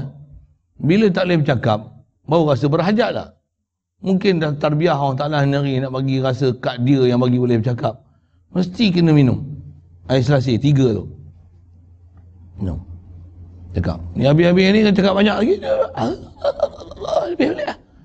Kalau tak minum langsung lagi, kalau kata asal kena ngajar, asal tak ada suara. Tak ada. Tak ada. Dia macam ni. Cakap kita. Nah. Nak cakap pun sampai orang rumah tanya. Apa dia? Apa dia? Tak, dia tak faham cakap apa. Saya kena cakap ni. Tak pergi sekolah. Apa? Oh, macam tu. Kena cakap. Oh, bila minum tu kata, ni, nak ada apa? Ni sabab. Memang dah try lah. Dulu pun saya kalau tak boleh bercakap ni seminggu kan. Dua minggu kan. Cuti mengajar. Lalu dia lah boleh mengajar. Pasal bertemu ubat. Bila saya bertemu ubat tu, tu yang saya kena katok tampur dengan guru sekali je. Dia tak tampur pipi lah. Dia tampur dengan kata-kata kan. Pasal saya ikut, saya ada jadual. Saya ada, kami ada program yang tu pergi kat Pasir Gudang. Saya nak sebut hal sikit. Nak sebut. Saya sebut tu saya terasa kat saya lah paling besar sekali. Nak bagi rasa tauhid tu. Untuk hari itu saya tak boleh bercakap. Kedok saya ada program saya penuh tu. Tangguh semua mengaji, ikut guru pergi Johor. Pergi. Untuk dia seronok saya datang kan. Pasal uh, saya antara yang awal-awal yang banyak tarik orang ikut guru yang saya duduk belajar ni. Kata, mari mengaji. Ikut guru ni. Ha, dia. Untuk bila dia tunjuk, bila dia jumpa, dia tengok saya datang, Alhamdulillah, tak sampai. Seronok saya tengok Ustaz datang. Saya kata, saya kata cakap masa tu suara tak ubah dia. Datang ada suara tak ada. Tak masa cancel. Tak tahu, dia, dia sepak saya sikit je. Inilah baru tahu kita muhtaj ke Allah Ta'ala. Barulah kita tahu kita berhajat ke Allah Ta'ala. Allah yang bagi kita sifat kalam. Saya dengar tu terduduk kan. Dia dah ajar dah. Saya pergi ke India untuk guru ajar dah kan. Memang dia ajar disiplin-disiplin tu. Tapi hari tu kena tampur best sekali. Melengur dia tu. Memang masa tu pun jumpa formula, tak jumpa formula lagi. Tak jumpa tiga tu. Ubat tu kan. Lepas tu orang beritahu, minum. Hilang. Ha. Lah ni dengan sebab buah tu. Minum je ingat. La haula wala Apa dia? Allah bagi aku kalam. Kalau dia tak bagi aku bercakap, aku tak boleh bercakap. Bukan selasih. Itu alat je. Macam apa? Ilmu ni besar pada la ilaha illallah. Apa dia? Allah ilah. Kita bukan ilah. Allah penuh nak hajat. Allah saja yang boleh bercakap pada aku. Bukan benda ni. Kalau kita sebut mudah, kita dahaga. Dahaga Selalu ingat apa? Dahaga ingat apa? Bukan maksudnya dahaga tak payah minum air. Bukan. Dahaga mestilah alat dia air. Air makhluk ke Allah makhluk? Wih, jangan silap tu tuan. Itu memang tak silap insya-Allah. Air bagi dahaga ke Allah bagi dahaga? Ha, tauhid 24 jam jalan. Sebab kena minum air. Minum pun bismillah. Apa bismillah? Dengan nama Allah aku minum air. Allah yang rezeki aku. Azali lagi dia sentuh air aku apa aku nak minum. Siapa nak minum? Air apa minum? Sumber mana minum? Kalau tuang air ni, tuan main mana ni? Oh, kaktus ya. Yang ke gau? Hmm, ada orang tak faham tu. Cuan sendirian berhad. Air kuning typing perak. Perak mari selangor mah. Tak faham tu dah. Saya cakap cerita apa tu? Ah, produk tu satu hal. Okay. yang tu betul. Yang tu saya nak cerita kempen tu lah. Cerita tu kan. Wah, gau sedap sikit. Ahmad Rozaini ke sedap juga nama air tu. Tapi saya tak ada lah keluar ayuk. HPA kan sedap juga. Contoh-contoh contoh eh. Saya nak cerita apa ni? Air ni daripada Taiping ni boleh main duduk seluruh ni. Cuma saya tak minum lagi. Saya tak minum lagi lah. Kita tak pernah fikir air mana nak masuk dalam perut kita. Tapi semua dah tertulis dalam ilmu salah dan iradah dia. Dia yang menentu. Minum tu dengan fikir. La ilah ilah. Daya upaya satu. Air itu main mana tu pun cukup untuk bawa tauhid kita. La ilah ilah. Kalau tak faham macam tu, kita akan kufur dengan Allah Ta'ala. Tak mana kufur? Allah ni tersembunyi. Dia hidden. Bahkan apa? Dah ke minum air? Minum air? Ha, lega dapat ayat. Hmm. Dengar. Alhamdulillah. Okey. Bagus ke tak bagus? Baguslah. Bagus mulut. Duk Alhamdulillah. Ke ayat ke ke Allah Ta'ala? Jangan tipu. Ah, Alhamdulillah. Duk seronok tu pasal air tu. Duk seronok tu kalau sedap pun. Hmm. Sedapnya. Hmm, Alhamdulillah. Alhamdulillah kat mana? Jangan ribu. Ha? Kat sedap tu. Kat sedap tu. Yang jadi sedap lah. Makan pun sebenarnya. Uh. Contohlah kalau mesti durian kan. Contoh. Durian pun orang hidang. Musang king. Kan? Tak pun duri hitam. Contoh. Kita pun tak pernah makan. Oh, kon, bismillah ni. Bismillah. Kaifiat makan kaifiat.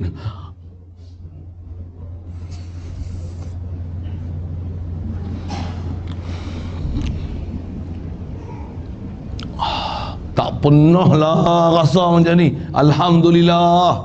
Sonok kat mana? Kat sedap tu. Hati tak ada hubung dengan Allah. Sikit buat Allah bagi rezeki aku dia bagi sedap. Entah saya pergi kat Indah. Syekh yang duk ajar Tauhid ni. Dia makan dalam mata macam ni. Dia memang dah lama. Umur pun 90 lebih. Ha, memang Tauhid yang dia ajar kat kami apa? Makhluk ialah makhluk. Kalau tak tempat makhluk. Sebab lapar kau makan. Buka puasa kami makan sekali, dia makan sekali kami. Boleh tengok dia punya keadaan tu. Memang kita tahu dia makan ni dia makan dengan tauhid. Dia bukan macam kita makan. Kita tak makan lagi pun macam tak ada tauhid. Boleh tu. Saya pasal Tok Guru ajar nak kan kita buka puasa orang dah hidang dia. Kita pun tak nak fikir hidangan main mana dia. Patutnya dia, dia ajar dah. Saya pergi India bulan puasa memang antara yang dihidangkan amalan yang diajar ni untuk kita boleh rasa ke orang Ta'ala ni apa. Dia ada bacaan sebelum buka puasa tu. Kat sana lah saya sebut kat India. Malah tempat lain amalan lah ajar apa? baca subhanallah tu. Subhanallah wa bihamdihi subhanallahil azim wa bihamdihi astaghfirullah baca ramai-ramai Subhanallah wa bihamdihi setengah jam sebelum buka puasa. Subhanallahil azim wa bihamdihi astaghfirullah. Buat apa tu? Allah Taala ni tak ada sifat kurang. Dia sempurna. Yang tak sempurna ni makhluk. Makanan duk hidang tu duk depan dah. Patutnya kata apa? Semua makhluk ni. Yang bagi kenyang aku, yang bagi rezeki aku, semua Allah Taala. La ilaha illallah. Ni semua limpah kurnia dia. Tengok tu rasa datang daripada dia. Dah diajar semua tu. Tapi kita tengok, ah ini sedap ni. Wah ni. Ini sedap ni. Sana banyak pula. Sini sikit. Dan lagi meninjau hak orang tu. Dan lagi komplain tu sikit banyak tu kan. Saya tak cerita orang lain. Saya cerita saya lah ni. Punya perangai huduh lah. Makan tu pula. Macam mana makan? Hmm, bagi kurma murah ya. Bagilah mahal sikit. Contoh-contoh kan. Oh tuan, buruknya perangai kita ni. Sepatutnya semua tu jalan untuk ha, Allah bagi rezeki Alhamdulillah. Kalau dia tak pergi makan ni macam mana? Monopol lah kita. Syekh bagi peri pula tu. Lalu kot Syekh sepatutnya. Budi bahasa lah dengan dia. Terima kasih. Alhamdulillah. Tapi terima kasih atas budi bahasa makhluk. Tauhid dia mana? Allah bagi rezeki. Allah bagi lalu kot dia. Atas dia budi bahasa dengan dia. Makanan kena ambil makan. Sabab kena buat. Hati macam mana? Satu dia ajar tauhid dengan istilah dia tuan apa dia? Hati dengan Allah Taala. Jasad anggota kita apa sebab yang kita kena buat ni? Yang ni memang dengan makhluk. Lapar makan nasi tak? Takkan lapar minum air. Dahaga makan nasi. Mesti minum air tak? Yang masuk saluran satu je. Masuk pun tempat satu. Tapi masuk air hilang dahaga. Masuk makanan hilang lapar. Yang tu pun dah cukup dah untuk tauhid Allah Taala. Apa dia? Masuk saluran satu, tempat yang sama, yang mana? Tapi rasa nikmat lain-lain. Masuk ubat, makan sini, sakit lutut, sakit lutut hilang. Makan ubat ni, sakit kepala, masuk kat mulut, masuk dalam perut, sakit kepala hilang. Proses sini, sini hilang sakit kepala. Makan ubat ni, hilang sakit nyot-nyot kat sini, katalah gitu kan. Ha. Sakit, nah katalah kat sini, urut kaki ya, refleksi ke apa. Sakit. Lah, patutnya semua tu jalan tauhid apa dia? Makhluk ialah makhluk, sebab ialah sebab, sebab ni pun makhluk, yang kita nak hadir dalam hati siapa? Nak jatuh hati siapa? Allah, Allah lah khalik makhluk. Ni tauhid. Kalau boleh sedar ke Allah Ta'ala, ha, keluar pada kufur, dapat tauhid. Kalau duk sedar kepada selain pada Allah Ta'ala, itulah syirik. Jadi kufur syirik ni tak sedar ke Allah Ta'ala langsung, sedar ke makhluk-makhluk, ke aku, ke aku. Aku hidup. Tujuh besar tu lah. Aku hidup Aku ada akal, aku pandai, ha, aku ada perasaan, aku ada hati, aku nak ni, aku nak ni, aku ada kederaan ni, aku ada kemampuan macam ni, aku ada, aku sihat, aku kuat, aku boleh ni, aku boleh jahit, aku boleh masak, aku boleh ni, aku boleh ni, aku boleh ni, aku boleh ni. Duk rasa aku, aku mendengar, aku boleh mata aku terang, telinga aku peka, mulut aku petah bercakap, ha. ha bacaan aku fasih, suara aku sedap, Duk rasa aku, aku, aku, aku ni tak rasa semua ni limpah kurnia Allah Ta'ala kepada aku. Kufur. Nama dia. Sekali lagi saya sebut eh. Jangan pergi bubuh kat orang. Kau ni kufur. Tak, bukan. Itu untuk kita. Aku ni kufur. Kufur tak mana? Aku tak sedar Allah bagi aku. Sedangkan kita bercakap. Siapa bagi bercakap? Allah bagi bercakap. Kita berjalan ni. Siapa bagi keupayaan berjalan? Siapa bagi kuah ni? Allah bagi kita kuat. Kita pun sebenarnya dah diajar dengan ungkapan apa? La haula Alhamdulillah. Dah sebut lama dah. Ambil faham aja. Ha, pelajaran ni sebenarnya ambil faham itu kan. Kadang tackle sikit je. Ada benda kita dah praktik pun dalam amalan kita harian. Alhamdulillah. Cuma nak bagi faham je. Bagi tentu tight sikit Bagi swiss lah. Dalam masa yang sama ada ilmu yang memang kena ada in detail tu satu hal. Tapi pagi suih ni apa? Pagi sedar kau Ta'ala. Allah yang beri semua tu. Makan dah bismillah dah apa dia? Dengan nama dia aku makan. Apa maksudnya dengan nama Allah Ta'ala aku makan? Aku makan ni bismillah. Eh, bismillah ya aku dulu. Dengan nama dia aku makan. Apa maksudnya? Dengan dia aku makan. Apa dengan dia? Dengan bantuan dia, pertolongan dia, rezeki dia, anugerah dia, limpah kurnia dia. Ni yang aku makan. Makan peri pula tu. La ilaha illallah. Satu dia suruh doa. Doa. Ingat Allah Ta'ala. Habis makan. Doa. Doa. Ni latihan kami dapat. Eh? Untuk guru doa ajar. Apa saya sebut kat tuan-tuan ni? Ni saya nak sebut.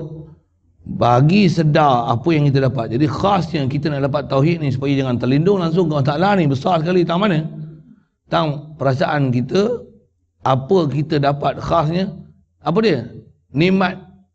Atau istilah dalam setengah kitab. Kitab hikam antaranya kata dia apa? kita puji alhamdulillahi ala ni'matil ijadi wal imdad. Tu istilah dia. Kita puji Allah Taala ni atau dua nikmat besar dia bagi. Apa dia? Nikmat ijad dan nikmat imdad. Ada madadil anfus ada madadil afaq. Tu istilah kitab hikam kan ada apa? Kita nak hadir tauhid ke Allah Taala ni apa dia bagi kita nikmat ada aku ni tak ada dia ada tauhid dapat tauhid hakikinya tu kan apa dia Sedar je ada kita macam mana? Allah ada. Aku ni, aku bukan ada. Dia ada dengan aku. Alhamdulillah. Dia bagi aku pula, hidup pula. Alhamdulillah. Dia yang ahya ni. Mak nama aman tadi. Aku bukan hidup. Ada, aku bukan hidup. Allah yang hidup. Dia hidup dengan aku. Alhamdulillah. Kita kenal pula ni anak, isteri, kenal nama, pandai, cerdik, atur macam ni, macam ni. Apa dia? La ilma lana illa ma'alam tanah. Tak ada satu ilmu pun kat aku. Melainkan apa yang Allah bagi aku. Alhamdulillah. Dia yang Atani al-ilm. Dia bagi aku, bagi ilmu, bagi pengetahuan, bagi sedar, bagi akal. Alhamdulillah. Dia bagi kita nak pergi masjid. Alhamdulillah. Dia bagi aku nak pergi masjid, pergi surau, pergi majlis ilmu. Boleh berjalan pula, boleh kedekat lagi. Duk bongkok-bongkok pun, naik kursi, wheelchair pun, boleh sampai lagi. Alhamdulillah dia sampaikan aku. Bukan kursi. Bukan kursi, bukan kereta. Ni alat yang bagi sampai aku. Allah, yang ni alat. Ha, tak ada mana boleh berjalan, berjalan. Tangan-tangan, kursi-kursi, motor-motor kereta-kereta, bas-bas, grab-grab, carilah apa jalan. Jalan pergi, sampai apa? Pandanglah Allah Ta'ala, la ilaha illallah, Allah yang beri. Kalau tak sedar ke dia, kufur. Kalau duk isbat dan yakin kepada masih Allah, dengan rasa inilah penunai hajat aku. Makan-makan ubat, oh tak ada ubat ni susah aku. Tu mulut sebut. Kalau tak sebut mulut pun, memang hati duk bergantung harap ke Allah Ta'ala. Eh, bergantung harap kepada makhluk tu. Dan istilahnya, ke Allah ni tersembunyi langsung. Allah ni tak rasa langsung, tak faham langsung, tak pernah ada hadir langsung hati. Isbat kat selain pada Allah Ta'ala, membuat nafik ataupun dar tu. Syirik. Jadi besar tuan pelajaran Tauhid kita. Yang ni yang Rasulullah ajar kita tauhid ni khas je pada sahabat yang duk musahabah sentiasa dengan Nabi wasallam ni 13 tahun tuan Mekah. Perfect course. Para sahabat belajar dengan Rasulullah 23 tahun. Perfect course. 23 dengan Rasulullah. Jadi maksudnya ada tak guru yang kita kena musahabah mujalasah duduk semajlis dengan dia? Kena ada. Tuan-tuan nak berapa tahun? Dua jam setengah juga. Alah, kejap je ni mau. Kejap je. Ha, dua jam setengah juga. Cukup dah. Touching, tu pun touching. Setengah mana tak tahu, tak tahulah kan. Masing-masing lah kan. Bila tu touching pun dalam kelas je. Balik lagi, keluar je bilik, habis ya.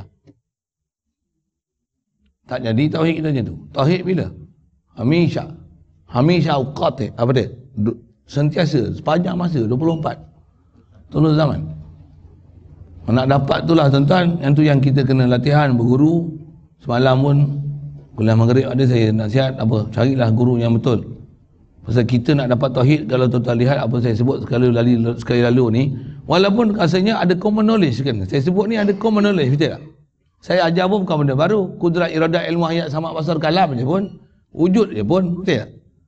Tapi dengan sedikit pencerahan nak bagi rasa tauhid ke Allah Taala. Keluar daripada kufur, jangan kufur, jangan syirik bahkan ke Allah. Dan kaedah kita ahli sunnah wal jamaah tauhid itu di hati. Kita punya tindakan ni, tindakan kita buat sebab. Ha, itulah perjalanan hidup alam syahadah ni. Apa makan? Itu. Tapi makan tu, makan dengan tauhid. Bukan maksudnya tauhid ni tak payah makan. Aku tak mau makan sebab Allah bagi kenyang aku. Itu apa? Bodoh saya sebut itu bodoh. Ada pula Allah kenyang aku tak mau makan. Eh tak, bukan macam tu, bukan macam tu. Bukan macam tu. Lapar makan. Makan ah, yang tu syarah dia macam-macam lah. Apa yang perlu makan tengoklah piramid. Makanan apa-apa apa-apa apa apa masalah apa kau boleh makan apa tak boleh makan kencing mana tak kencing mana apa-apa kolesterol aku, aku tengoklah tu yang tu pun atas jalan sebab kau buatlah sebab yang betul. Betul ya? Faham macam tu kan? Buat sebab hati la ilaha illallah. La ilaha illallah. La ilaha illallah apa? Allah yang sebenarnya aku berhajat dia. Dia yang tunai hajat aku. Dia yang bayar kenyang. Ubat apa? Dia yang kita buat yang kita usaha ni semua sebab-sebab ya. Buka lampu. Mesti dah tekan Swiss. Takkan duduk sini. Allah lagi nyala lampu tu. Kena tekan tak Swiss? Kena. Kalau yang kena pula kipas satu. Nak bagi jadi lima. Duduk situ. La ilaha illallah. La ilaha illallah. La ilaha illallah. Allah lah bagi laju lagi. Macam tu kan? Macam tu kan? Tidak. Tidak. Apa dia? Buatlah sebab pulah lah. Pulah tu. La hawla wa la quwata illa. Pusing tak? Alhamdulillah. Bukan seronok sejuk tu. Apa? Allah yang bagi pusing. Pandang dia pula apa? Pandang apa? Pandang ilmu dia, iradah dia. Semua dah tentu azali lagi. Yang ni aku melaksana. Nampak aku melaksana. Min ghairi haulin minni wala quwwah. La ilaha illallah. Ada ni baru boleh keluar penyakit batin syirik satu lagi. Jadi saya sebut sekali lalu tu apa kat tuan-tuan? Yang ni lah syirik kita dengan Allah Ta'ala dalam bak akidah. Apa dia? Duk berasa selain daripada makhluk boleh bagi hajat. Satu lagi syirik. Syirik apa? Syirik dalam bab nafsu. Syirik dalam bab nafsu macam mana? Selalu yang disebut, yang kita selalu belajar, cuma dengan istilah saya sebut tu mungkin tak bisa dengar kan. Syirik apa selalu selalu dengar? Syirik selalu kita dengar syirik jali, syirik kopi. Kaya? Syirik kopi apa? Syirik kopi apa dia? Tak bisa belajar kot, nafsu. Kan? syirik kopi yang kita biasa dengar kalau belajar orang kata ni syirik kopi syirik jali sembah tokong boleh faham syirik kopi apa Oh tak bisa dengar kot. Dia orang takkan kita sahur kot. Wah habis apa? Masa itu. Ha? Syirik.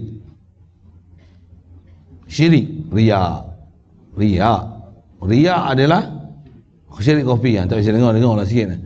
Syirik kopi ni selalu orang nak sebut ni syirik kopi. Ha, pertama bagi betul information sikit. Syirik kopi ni kadang-kadang ada orang terjemah apa? Ni syirik kecil. Syirik sebab tokong, syirik besar je tak? Kan. Atas nama syirik, dua-dua syirik. Dua-dua syirik. Bila dua-dua syirik, riak dosa besar tak? Dosa besar. Riak dosa besar. Ujuk dosa besar. Takabur dosa besar. Hasad dosa besar. Sumah dosa besar. Semua dosa besar tu. Bukan dosa kecil. Satu kalau ada orang terjemah dan bagi tambah bagi hukum dia kata riak ni syirik kecil je syirik kecil je syirik apa? Dosa kecil je tak dia bukan dosa kecil. Kopi itu bukan kecil. Kopi itu tersembunyi. Tersembunyi itu apa? Orang tak nampak. Kita pun tak sedar. Tu syirik tanpa sedar tu. Syirik tanpa sedar. Jadi kita pun tak sedar kita dah buat syirik sebenarnya. Kan? Pakai kemas sengit sikit. Pasal apa sengit ni jadi pasal apa seng pasal apa saya ingat ni tanya soalan tak betul tak sorry. Apa? Pasal apa perkemah ni? Siapa?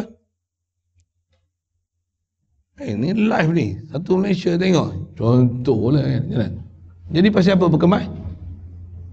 Kau ada sikit macam tu je. Syirik. Entah, syirik ni apa akibat dia? Habis semua amalan. Kufur punya dah. Habis semua. Hari dosa-dosa kita sebut ni bukan dosa kecil-kecil. Semua dosa besar ni. Bahana dia besar. Mati pula dalam keadaan macam tu. Macam mana? Selesai tak selesai kita punya akidah. Oh, mati kubur, mati syirik, masalah tu. Jadi asal, asal saya sebut syirik tu. Okey, jadi syirik uh, riak adalah syirik kopi dengan mana tersembunyi. Tapi dia dosa besar antara dosa-dosa besar tu syirik apa dan kedah, kalau kedah ulama antara senarai dosa besar ni tuan-tuan boleh tengok kitab Az-Zawajir karangan Ibnu Hajar Ibnu Hajar Asqalani. Dia kumpulkan ada angka 360 lebih dosa-dosa besar dalam kitab dia Az-Zawajir 360 dalam tu ada dosa zahir, dosa batin, ada yang dosa tujuh anggota disebut daripada awal mula bab akidah. Lepas tu bab fiqh dalam bab tasawuf. Satu satu satu satu satu satu satu satu enam buloh. Ha. Kita nak cari 30, 30 hmm, apa? Cari 10 tak boleh dosa besar. Ha, pada kita tak dosa. Satu kita rasa tak ada dosa ya kan? Relax kan? Relax. Zone, relax. Comfort zone. Relax. Pasal kita tak ada rasa dosa. Padahal pendosa tak kita ni. Memang ada dosa. Cuma dosa tu apa? Bila kita tak belajar, kita tak sedar apa dosa yang kita buat.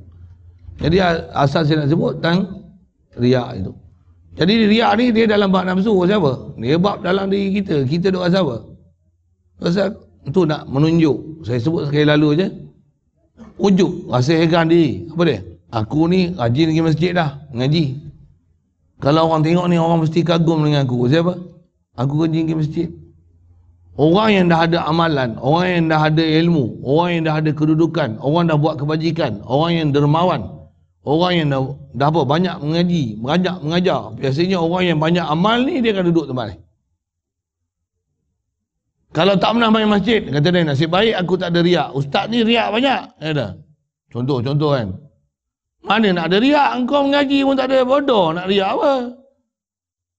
Riak ni orang yang dah duduk status yang makin nak taat, nak taat, nak taat, nak taat. Itu cabaran dia. Masjid pun tak bisa main. Aku ikhlas main kat rumah. Aku tak riak. Kepala otak kau. Pergi jemaah dulu. Baru tahu riak tak riak. Dah pergi jemaah takkan jadi makmum tak ada masalah lagi. Jadi imam dulu. Duduk bagi duduk imam tu. Bagi ilmu bagi ada jadi imam tu. Nak tengok kau riak tak riak. Dah jadi imam suara bagi sedap. Tajwid. Dan taranum. Sedap. Sedap gila punya orang terpesona dengan kau. Kau ada riak tak ada riak. Situ cabaran kau. Bukan bila tak ada riak. Nasib baik aku tak jadi imam. Nasib baik aku tak suruh sedap. Nasib baik aku tak mana tak panjat tajwid. Nasib baik aku tak pergi jemaah. Habis-habis semain seorang. Ha, aku ikhlas. Kalau tak kau. Saya ni bahasa macam ni kan. Yang ni yang kadang-kadang yang ni kegagalan juga dalam masyarakat ni. Dia konon tak mau riak, tak mau wujud, tak mau apa, tak mau apa macam mana? Oh, buat jadi bodoh. Bodoh je. Tak, keedah kita apa? Disuruh tak berlomba-lomba buat kebajikan. Disuruh tak cari ilmu. Disuruh tak dermawan. Disuruh tak jihad. Disuruh tak jemaah. Suruh, suruh tak. Suruh tu dalam masa yang sama. Taat buat gila punya. Hati ni. La ilaha illallah. Allah yang beri semua. Ni semua. Hadha min fadli rabbi. Ni limpah kurnia Allah Ta'ala. Beri kepada aku. Ni tauhid. Inilah ajaran Islam. Hadhihi sabili. Adu'u ilallah. Kata Rasulullah, inilah jalan aku nak bawa kamu semua ke orang salah. Ni, ni jalan dia. Hmm. Jadi sekali lalu saya tunjuk kat tuan-tuan tadi, tahu mana? Tak ada syirik tanpa sedar dalam bab nafsu. Yang tu khas tentang kena mengaji atau istilahnya ilmu tasawuf. Kalau tu tak boleh faham tu, yang inilah antara makna yang saya duk ngaji dengan Tok Guru ajar tafsir, kita apa? Inilah antara nasihat Luqmanul Hakim pada anak dia tadi. Ya bunayya la tusyrik billah. Tang mana tang jangan syirik dengan Taala. Kau kena sedar engkau, kau ni Allah yang wujudkan. Jangan rasa engkau ada. Allah lagi ada engkau. Ha, macam tu. Dia punya tafsiran dia tu. Tentang kita tak mengaji guru betul, kita tak dapat uraian tu. Tak dengar saya sebut. Bukan senang tuan nak jumpa guru yang ajar macam tu. Saya punya experience jumpa guru macam ni cukup susah. Kan? Alhamdulillah. Tapi Alhamdulillah, dengan apa saya belajar, nak buat apa lah. Takkan saya nak simpan seorang nak buat apa ilmu tu kan? Bagi semua orang dapat tauhid. Mudah-mudahan besar sekali saya dah dulu dapat tauhid tu. Saya cakap tu untuk semua untuk saya sendiri menafaatkan tauhid tu. Apa saya nak sebut tu ialah ha, maksud kata jangan syirik dengan Allah Taala. Tu maksudnya engkau kena rasa engkau tu bukan ada Allah yang ada. Dia yang wujud hakiki wujud tu dia. Engkau ni asal tak wujud engkau ni wakat engkau ni walam taku syai'an engkau ni tak ada apa pun. Lam yakun syai'an madhkura tak pernah disebut pun sebelum ni. Nama engkau pun tak ada. Jangan kata kau abah pun tak ada apa tau la tusyrik billah Allah yang adakan kita atas muka bumi ni la ilaha illallah la tusyrik billah ilmu kita asal beranak Allahul ladzi huwa ladzi akhrajakum min butuni ummahatikum la ta'lamuna syai'a dia yang keluar kita daripada perut Ibu kita dalam keadaan tak ada ilmu. Nama kita pun tak tahu. Beranak-beranak tu tanya nombor IC. Nombor IC apa? Boleh. Dua tahun. Masih dua tahun. Setahun tak tahu nama lagi. Panggil boleh? Hmm, tak tahu. Kalau nak cerita apa ni? Siapa yang bagi kita ilmu sikit, sikit, sikit, sikit, akal cerdik, sikit, sikit, sikit. Siapa? La ilma lana illa ma'alam tanah. Jadi jangan syirik dengan Allah Ta'ala. Jangan rasa kau ada ilmu. Kau ada akal. Yang ada ilmu ni Allah Ta'ala. Apa? Allah Ta'ala ni Allamul ghuyub. Alimu bizati sudur. Kita apa? Me jahil he. Tu urdu sikit lah. Aku jahil. Bila aku jahil, ni macam mana macam-macam boleh ada kat aku ni? La ilaha illallah. Allah kan fadl he. Allah kan fadl se. Ni semua limpah kurnia dari Allah Ta'ala. Bagi kat aku. La ilaha illallah. Ayat, ilmu, iradah. Ni macam mana boleh nak pergi mengaji apa-apa ni? Aku ni kalau ikut nafsu aku punya malas kalau boleh tidur lah masa ni. Huh, sedap tak kira. Alhamdulillah Allah Ta'ala bagi reda aku main datang mengaji. Semua limpah kurang dia. Alhamdulillah. Ni boleh datang ke dekat awak belanja. Habis duit pun tak apa. Datang main ni. Siapa? Alhamdulillah dia bagi ke dekat aku. Boleh dengar lagi ni. Dah. Memang nak berhenti ni. Nak berhenti ni. Nak berhenti ni. Boleh dengar lagi, tak tidur lagi, tak mengantuk lagi. Alhamdulillah dia bagi sedar lagi kita. Alhamdulillah Allah yang beri. Boleh faham pula tu. Alhamdulillah. Azam pula tu. Aku nak amalkan tauhid ni. Alhamdulillah. Semua ni apa? La ilaha illallah. Tak ada siapa boleh begini. Melainkan Allah, Allah, Allah, Allah, Allah. Dia tengok ada orang jamu makan lagi. Macam mana? La ilaha illallah. Makan. Makan. Orang suruh makan. Yang puasa tak payah lah kan. Ni mana? Bismillah dengan nama Allah aku makan. Aku makan ni dia bagi dekat aku makan. Rezeki dia tentu. Semua datang pada dia. Tuan-tuan, dengar boleh, faham boleh. Boleh faham kan? Alhamdulillah. Nak bawa sedang tak? Ha? Kena ada bimbingan. Bimbingan tu bagi kursus baca kitab khatam. Selesai. Cukup. Tuan-tuan, saya ikut guru yang saya duk mengaji lah ni. Dah lima tahun. Cuma taklah duduk macam mana sahabat duduk dengan Rasulullah. Tak lah kan. Yang kalau memang pergi khusus pergi belajar ada waktu memang selalunya bulan puasa lah saya ke India dapat nisbah asuhan dengan ilmu satu yang tu pun banyak benda tak faham lagi. Lepas tu asuh macam mana nak praktik tempat yang istilahnya terpelihara daripada gangguan-gangguan luar. Hidup bermasyarakat. Kalau tanah pula luas ada 100 hektar. Kawasan penempatan yang saya duduk tu. Masjid apa, hospital, hospital Zohir ada, hospital batin pun ada. Pada mula awal ada budak-budak tafsir ada. yang gaji kitab ada. Orang luar datang main apa untuk berdaurah tu Islam sebulan datang. Ngaji pula tak ada kitab. Belajar daripada hati ke hati.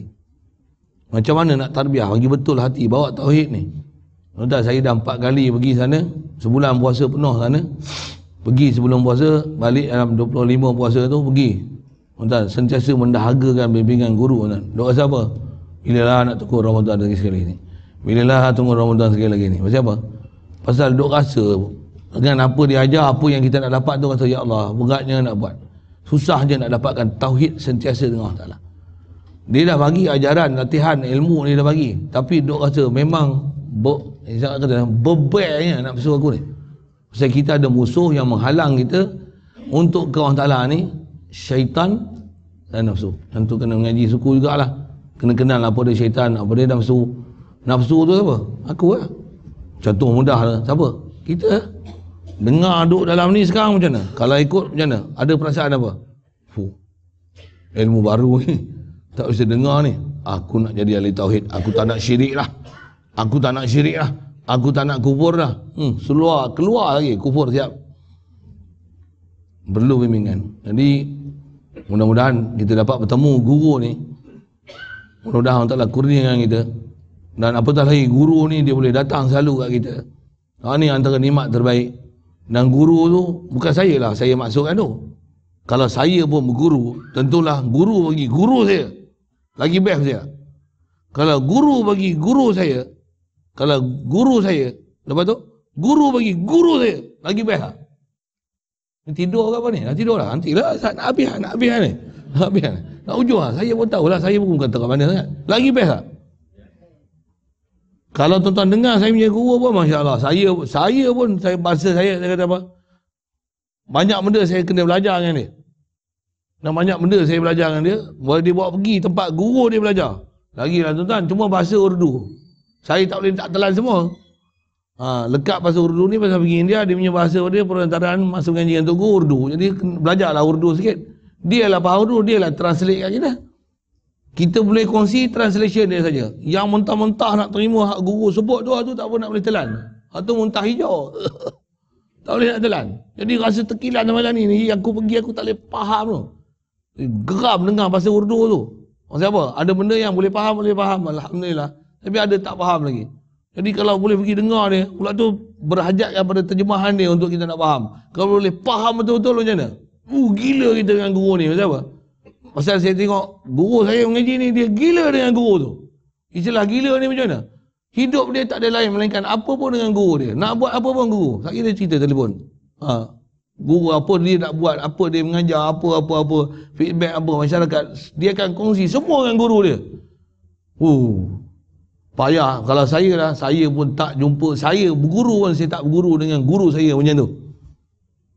Jadi macam mana guru tu? Special lah. Itu guru saya. Guru bagi guru tu Masya Allah. Tu saya kata tengok dia makan pun cukup lah. Tak payah tengok dia. Tak payah tengok dia aja. Tengok dia makan pun cukup lah. Dia berjalan pun cukup lah. Umur 90 lebih lah. Ha. Jalan pun kena pegang dengan pimpin lah kan. Ada waktu dia sihat sihat. Ada kadang-kadang kaki dia bengkak. Ada gaut. Ada apa sikit macam tu. Ha. penyakit ni biasalah dah tua ni kan. Ha. sama je satu dunia ada yang ni penyakit tu lah. Empat serangkai, lima serangkai apa tu. Ha, jalan. Tapi tak ada apa. kita tengok dia duduk duduk cara orang sentiasa berfikir ke Allah Ta'ala tauhid dia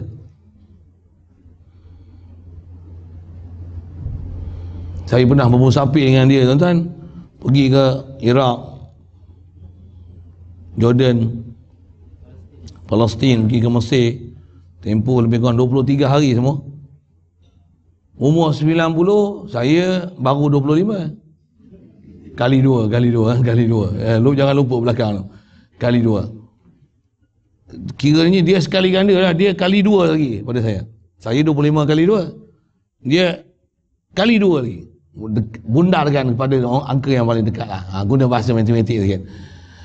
Tuan, umur dia 90 tu naik bas, kan kita naik bas selalu buat apa? Tuan-tuan selalu naik bas buat apa? Hmm, tidur. Dan umur setera tu naik bas. Kena bas pun potong sama motor apa kan.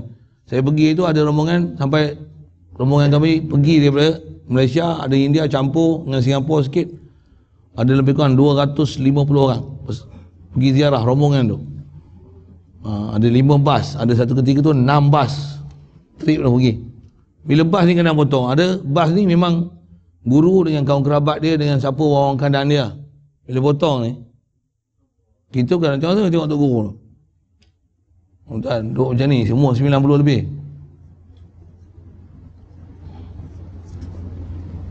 Dia bukan duduk tengok luar tu. Kalau tengok luar pun, dia dah ajar kat kami macam mana nak dapat tauhid.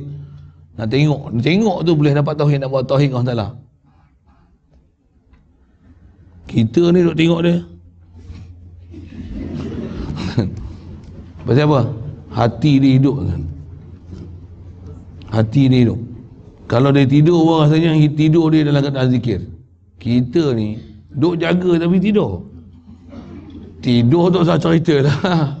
Tidur habis lah kan? Bukan tidur deep tidur. Deep deep deep tidur. Sampai panggil pun deep deep. Dia pun tak tahu. Deep tu siapa tak tahu lah. Ha, panggil. Hmm, tak bangun lah ada sampai ada orang kata apa? Langit runtuh pun tak jaga dia tu. Ha, kita tidur macam tu. Kita punya tidur sama macam tu. Tu waktu tidur. Waktu jaga pun macam mana? Hati kita tidur. Allah. Jadi mudah-mudahan sedikit kuliah semacam ni memberikan kesedaran kepada kita hanya untuk sentuhan ni tuan-tuan banyak benda kita kena belajar kalau saya sendiri saya belajar dan mengajar pun saya jumpa guru ni saya rasa saya kosong tuan-tuan apa tuan-tuan Tengok. Ya Allah. Mujulah ada umur lagi pergi belajar, pergi belajar, pergi belajar. Dah belajar pun saya sebut dah saya pergi India tadi. Tu pun rasa apa? Kosong ni. Apa pun tak ada. Ya Allah, macam mana lah. Ha, tu tak, perasaan ni memang kena ada. Macam apa? Kena rasa tak puas hati dengan performance yang ada pada kita. So kita memang performance besar kita untuk menzahirkan diri kita sebagai hamba. Macam mana nak jadi hamba tu? Kalau dengan saya negahkan, tak mana? Tak rasa berhajat pada Allah Ta'ala, tauhid kan dia dia saja pemberi dan penunai hajat. Yang lain ni semua makhluk. Makhluk tak boleh tunai hajat. Tapi dia sabab untuk kita selesaikan hajat hati ni sentiasa dengan Allah Ta'ala. Ha, itu dia punya formula dia. Barulah istilahnya tauhid. Keluar daripada syirik. Zahir punya syirik keluar. Kufur punya syirik keluar. Syirik tersembunyi pun keluar. Kufur tersembunyi pun keluar Alhamdulillah tauhid kita akan capai kita akan dapat isbat ilahi wahid. Kita isbatkan zat Allah Taala isbatkan segala sifat kamalat dia. Ma fi qalbi ghairullah. Dan dia bukan nasyid aja hakiki dapat.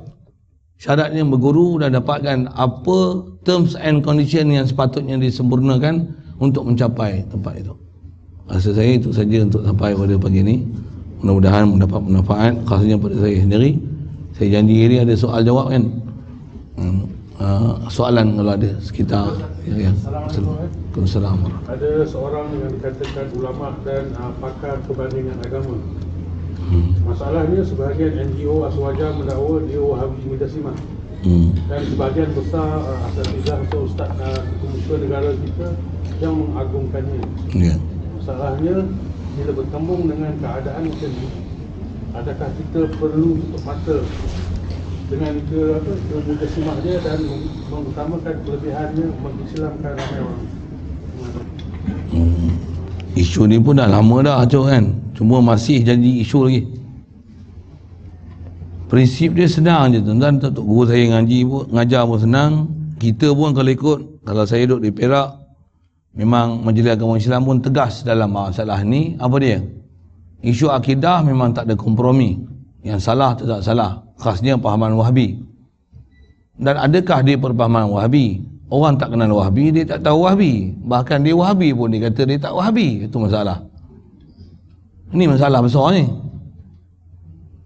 dan dia pula kata dia, sikit-sikit dia tak ikut sama dengan pandangan kau Wahabi.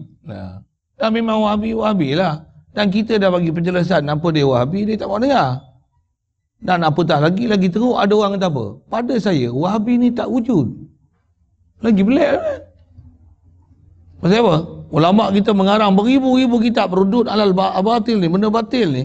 Ulama kita sekarang, saya mengaji antara guru saya mengaji almarhum tuan guru Haji, Ghazali Arsyad masa saya duduk pegang Datuk dulu dia orang panggil Pak Tuan Haji Ghazali kan ha, masa saya ngaji pun umur dia 96 tahun kan ha, antara muhaddisin zaman dia kan ngaji pun di Mekah dia balik Malaysia pun disebab tekanan daripada kerajaan Wahabi di Mekah pada masa tu balik. Balik tu dia buka pondok. Dia buka pondok 1932 tapi bukan saya masuk pondok 1932 kan. Uh, umur saya 25 kali 2 tu kira lah masa tu saya duduk alam alam mana lagi alam jakun syait al-mazkura lagi kan. Tak faham sudah apa saya sebut tu. Uh, saya nak kata apa? Dia cerita satu-satu wahabi kan. Dia duduk tempat wahabi dia kenal sangat wahabi dia cerita saya macam mana nak kelayu wahabi ilmu tu diturun dekat saya bila saya pun dengan wahabi ni mana boleh duduk diam atau saya duduk pelik ada orang dia tak mengaku dia wahabi itu satu dan dia kata sebenarnya wahabi tak wujud satu hal Siap. Sebenarnya Wahabi dah keluar kenyataan jelas. Selangor ada, Perak ada, Negeri Sembilan ada, Pahang ada, Johor ada. Perlih je kot, lain sikit. Ha, sejarah tu cukup lah dekat bahasa tu kan. Nak kira orang ngamuk pula. Nah, kalau ikut saya, saya beri apa dia ngamuk. Yang kita ngamuk dia tak kira. Ya Allah murka kat dia, dia faham. Ha, kalau yang tu lagi besar. Jadi nak sebut isu akidah jelas. Kedah akidah saya sebut awal-awal tadi 99% okey 1% OKU ya bukan KO OKU ya dalam bab akidah macam mana OKU tu apa Allah duduk atas aras tu akidah wahabi ya tu ada orang kata mana pula kami kata duduk atas aras kami kata Allah duduk di atas aras yang layak dengan dia wahabi ya tu Itu dia tak faham tu kami bukan kata tu. Kami bukan wahabi. Kami kata macam mana kami Allah yang kata. Bukan kami kata. Ha, salah ke kami kata gitu? Tu pun susah nak faham kan dia kata. Okey. Ada sikit sebanyak saya dah sebut tadi sekali lalu. Jadi nak sebut benda yang salah tetap salah. Jadi di atas dia punya kemahiran dia untuk dia buat perbandingan agama dengan sebab tu ramai orang kafir masuk Islam yang tu memang kepandaian dia kan. Kita pun tak pernah tengok Bible. Nak Bible apa? Tauhid pun tak pernah mengaji. Nak tengok Bible apa? Kalau saya saya sebut tu dulu. Betul kan? Dengar. Isu yang sama juga berlaku pada dia. Dia boleh banding Bible, kitab Weda macam ni, macam ni. Dia pun hafal ayat Quran tertentu. Surah ni ayat ni. Chapter ni, sorry. Chapter ni, chapter ni, verse ni. Chapter ni, verse ni. Oh, hebatlah. Perbandingan agama hebat. Dia boleh banding agama. Tapi agama dia sendiri dia tak belajar. Kalau saya, saya sebut macam tu. Apa agama dia? Tuan-tuan pernah dengar dia syarah Tauhid macam saya sebut ni? Tuan-tuan buka YouTube dia. Semua YouTube dia perbandingan agama kan? Tapi kalau nak cerita la syarika lahu, macam mana Luqmanul Hakim saya duk mengaji dan tafsir, untuk guru duk ajar. Dia kata la tusyrik billah dengan lebih kurang saya sebut ringkas dia tu macam mana supaya jangan syirik tanpa sedar ni kita nak keluar daripada syirik tu. Saya tak pernah dengar di hurai macam tu bahkan kat Malaysia ni saya boleh kira berapa orang yang ajar syirik macam tu. Boleh dengar. Saya cerita apa? Berapa masa sangat yang ada pada kita kita nak belajar syirik waktu tu. Yang tu tak belajar langsung. Ada orang tak belajar langsung. Tak pernah tahu pun macam tu adalah syirik. Padahal dia duduk syirik hari-hari. Bahkan yang tengok ada pada dia, yang disyirikkan apa? Pergi kat kubur, doa kat kubur, syirik. Pula. Tawasul, syirik. Memang disebut doa tu. Menyambut maulid ni, beda ah. Oh, pula. Dia keluar ayat tu. Jadi kalau kita highlightkan dia, dan letak pula, dia ni tokoh ulama sedunia. Ah, mayat kita, maut kita. Tak mana maut? Tak tokoh perbandingan agama, ya. tapi pakai buah title ulama sedunia masih yang sama ada orang tanya pula uh, uh, I have a question saya boleh tiru sikit lah kan dalam, dalam video yang ada kan uh, can I know where is Allah Ta'ala where Allah Ta'ala is can I say that he is everywhere or he is sitting at his throne can you please explain to me Masa lagi dia faham betul. Uh, uh, the question is, uh, Allah Ta'ala is everywhere. Allah Ta'ala is sitting as his throne. Lebih kurang itulah. Saya bukan untuk kita tiru mana-mana kan. Bahasa Inggeris je pun. Tiru je sikit kan. Uh, if you want to say Allah is everywhere, no. There is his problem there. Oh, terang-terang ni sebut itu tuan Nak kata dia wahabi tak wahabi tu. Uh, you must say that Allah Ta'ala is sitting at his throne. Tu Ar-Rahman ala Asyistawa. Tak ada khilaf-khilaf. Memang terang dia sebut itu. Dah ramai followers dia macam tu. Dah ramai pun dalam Malaysia ni ramai yang faham itu tambah geng-geng muda kan. Memang tak pernah belajar pun sifat 20 apa nak faham mukhalafah lil hawadis. Dia tak faham langsung. Apa yang dipanggil mukhalafah lil hawadis. Nak faham Allah saja wujud makhluk ni. Asal tak ada Allah yang wujud kan dia nak dapat tauhid macam kita sebut tadi tu. Memang tak pernah belajar pun tuan-tuan. Jadi bila ada masalah macam ni, bahkan dia ada akidah ni, tambah highlight kan dia, dia lah tokoh ulama yang besar dia ajar Allah duduk atas aras. Macam jawab saya sebut ini, walaupun jasa dia mengislamkan orang ramai, ramai orang Islam yang tak Islam di Islam kan, tapi berapa pula kesalahan dia telah mewahabikan orang ramai. Apa maksud mewahabikan orang ramai? Menjadikan orang pahaman wahabi dengan sebab etika Allah Ta'ala duduk atas aras. Itu maksudnya. Ha. Cuba kira itu apa orang? Cuba kira Malaysia apa? Oh. Ha, yang tu yang duk kelahi isu lah ni. Jadi ambil perhatian lah pasal keedah kita, bak kita isu besar. Bahkan kalau saya sebut takat tadi lah atas ulama-ulama muhakikin kita itu yang kalau kita faham betul-betul tauhid apa yang ada kat kita pun kita rasa macam mana uh, takutnya dengar syirik macam ni kufur macam ni aku ni syirik yang kufur lagi lah rupanya ya Allah ya Allah ha, kita duk ketar siap lah ni Siapa? Orang ada iman ni macam ni ketul kan? Bahkan ada iman, sepatutnya ada Allah, kita faham Allah ni macam mana? Faham kita betul-betul ni, sebut Allah je. Allah wajilat kuluhun, sepatutnya ketul lah ni. Allah. Ketul gerun ke dia satu hal. Kalau kita memang kenal dia, dia yang ada, dia yang ada kan aku. Sepatutnya, walladzina amanu asyaddu hubban lillah, sepatutnya kasih dah Allah bagi ada aku. Doktor tak boleh bagi ada aku. Mak bapa aku hanya boleh lahirkan aku. Dia pun tak boleh adakan aku. Allah yang adakan aku. Allah. Allah. La ilaha illallah. Saya berlakon je ni tuan. Saya berlakon je ni tuan. Sepatutnya macam tu tak? Ketar kita, dia tak kasih kita dan gerun. Ya Allah, sampai aku tak kasih kat engkau, aku terlindung dengan engkau. Kau ni tersembunyi, Ya Allah. Aku sekutu dengan engkau pula. Ya Allah, Ya Allah. Doa pula. Allahumma ini a'udzubika an usyraka bihi. Ma la a'lamu wa ma la a'lamu. Ya Allah aku minta lindunglah aku syirik dengan kau apa yang aku tahu apa yang tak tahu banyak benda aku tak tahu lagi yang aku duk syirik ni Ya Allah Ya Allah lindunglah aku peliharalah aku kalau kita faham perjalanan agama kita takut tu yang jadi masalah dalam akidah ni sampai macam ni orang yang tak ada masalah pada dia apa yang dia sebut yang tu salah besar dalam akidah dia rasa macam ada lalat hingga ni ha, itu ya lalat Sikit je. Isu kecil yang dibesarkan dia ada. Astagfirullah. Masa saya jawab soalan tu. Lain? Macam nak balik je. okay.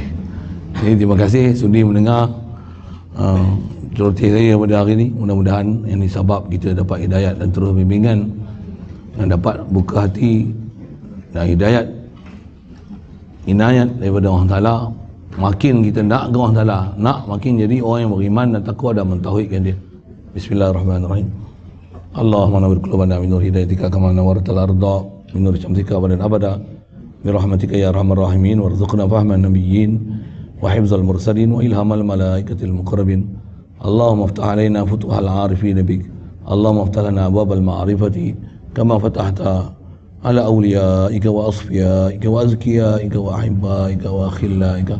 بجاه سيدنا محمد المصطفى صلى الله عليه وسلم والحمد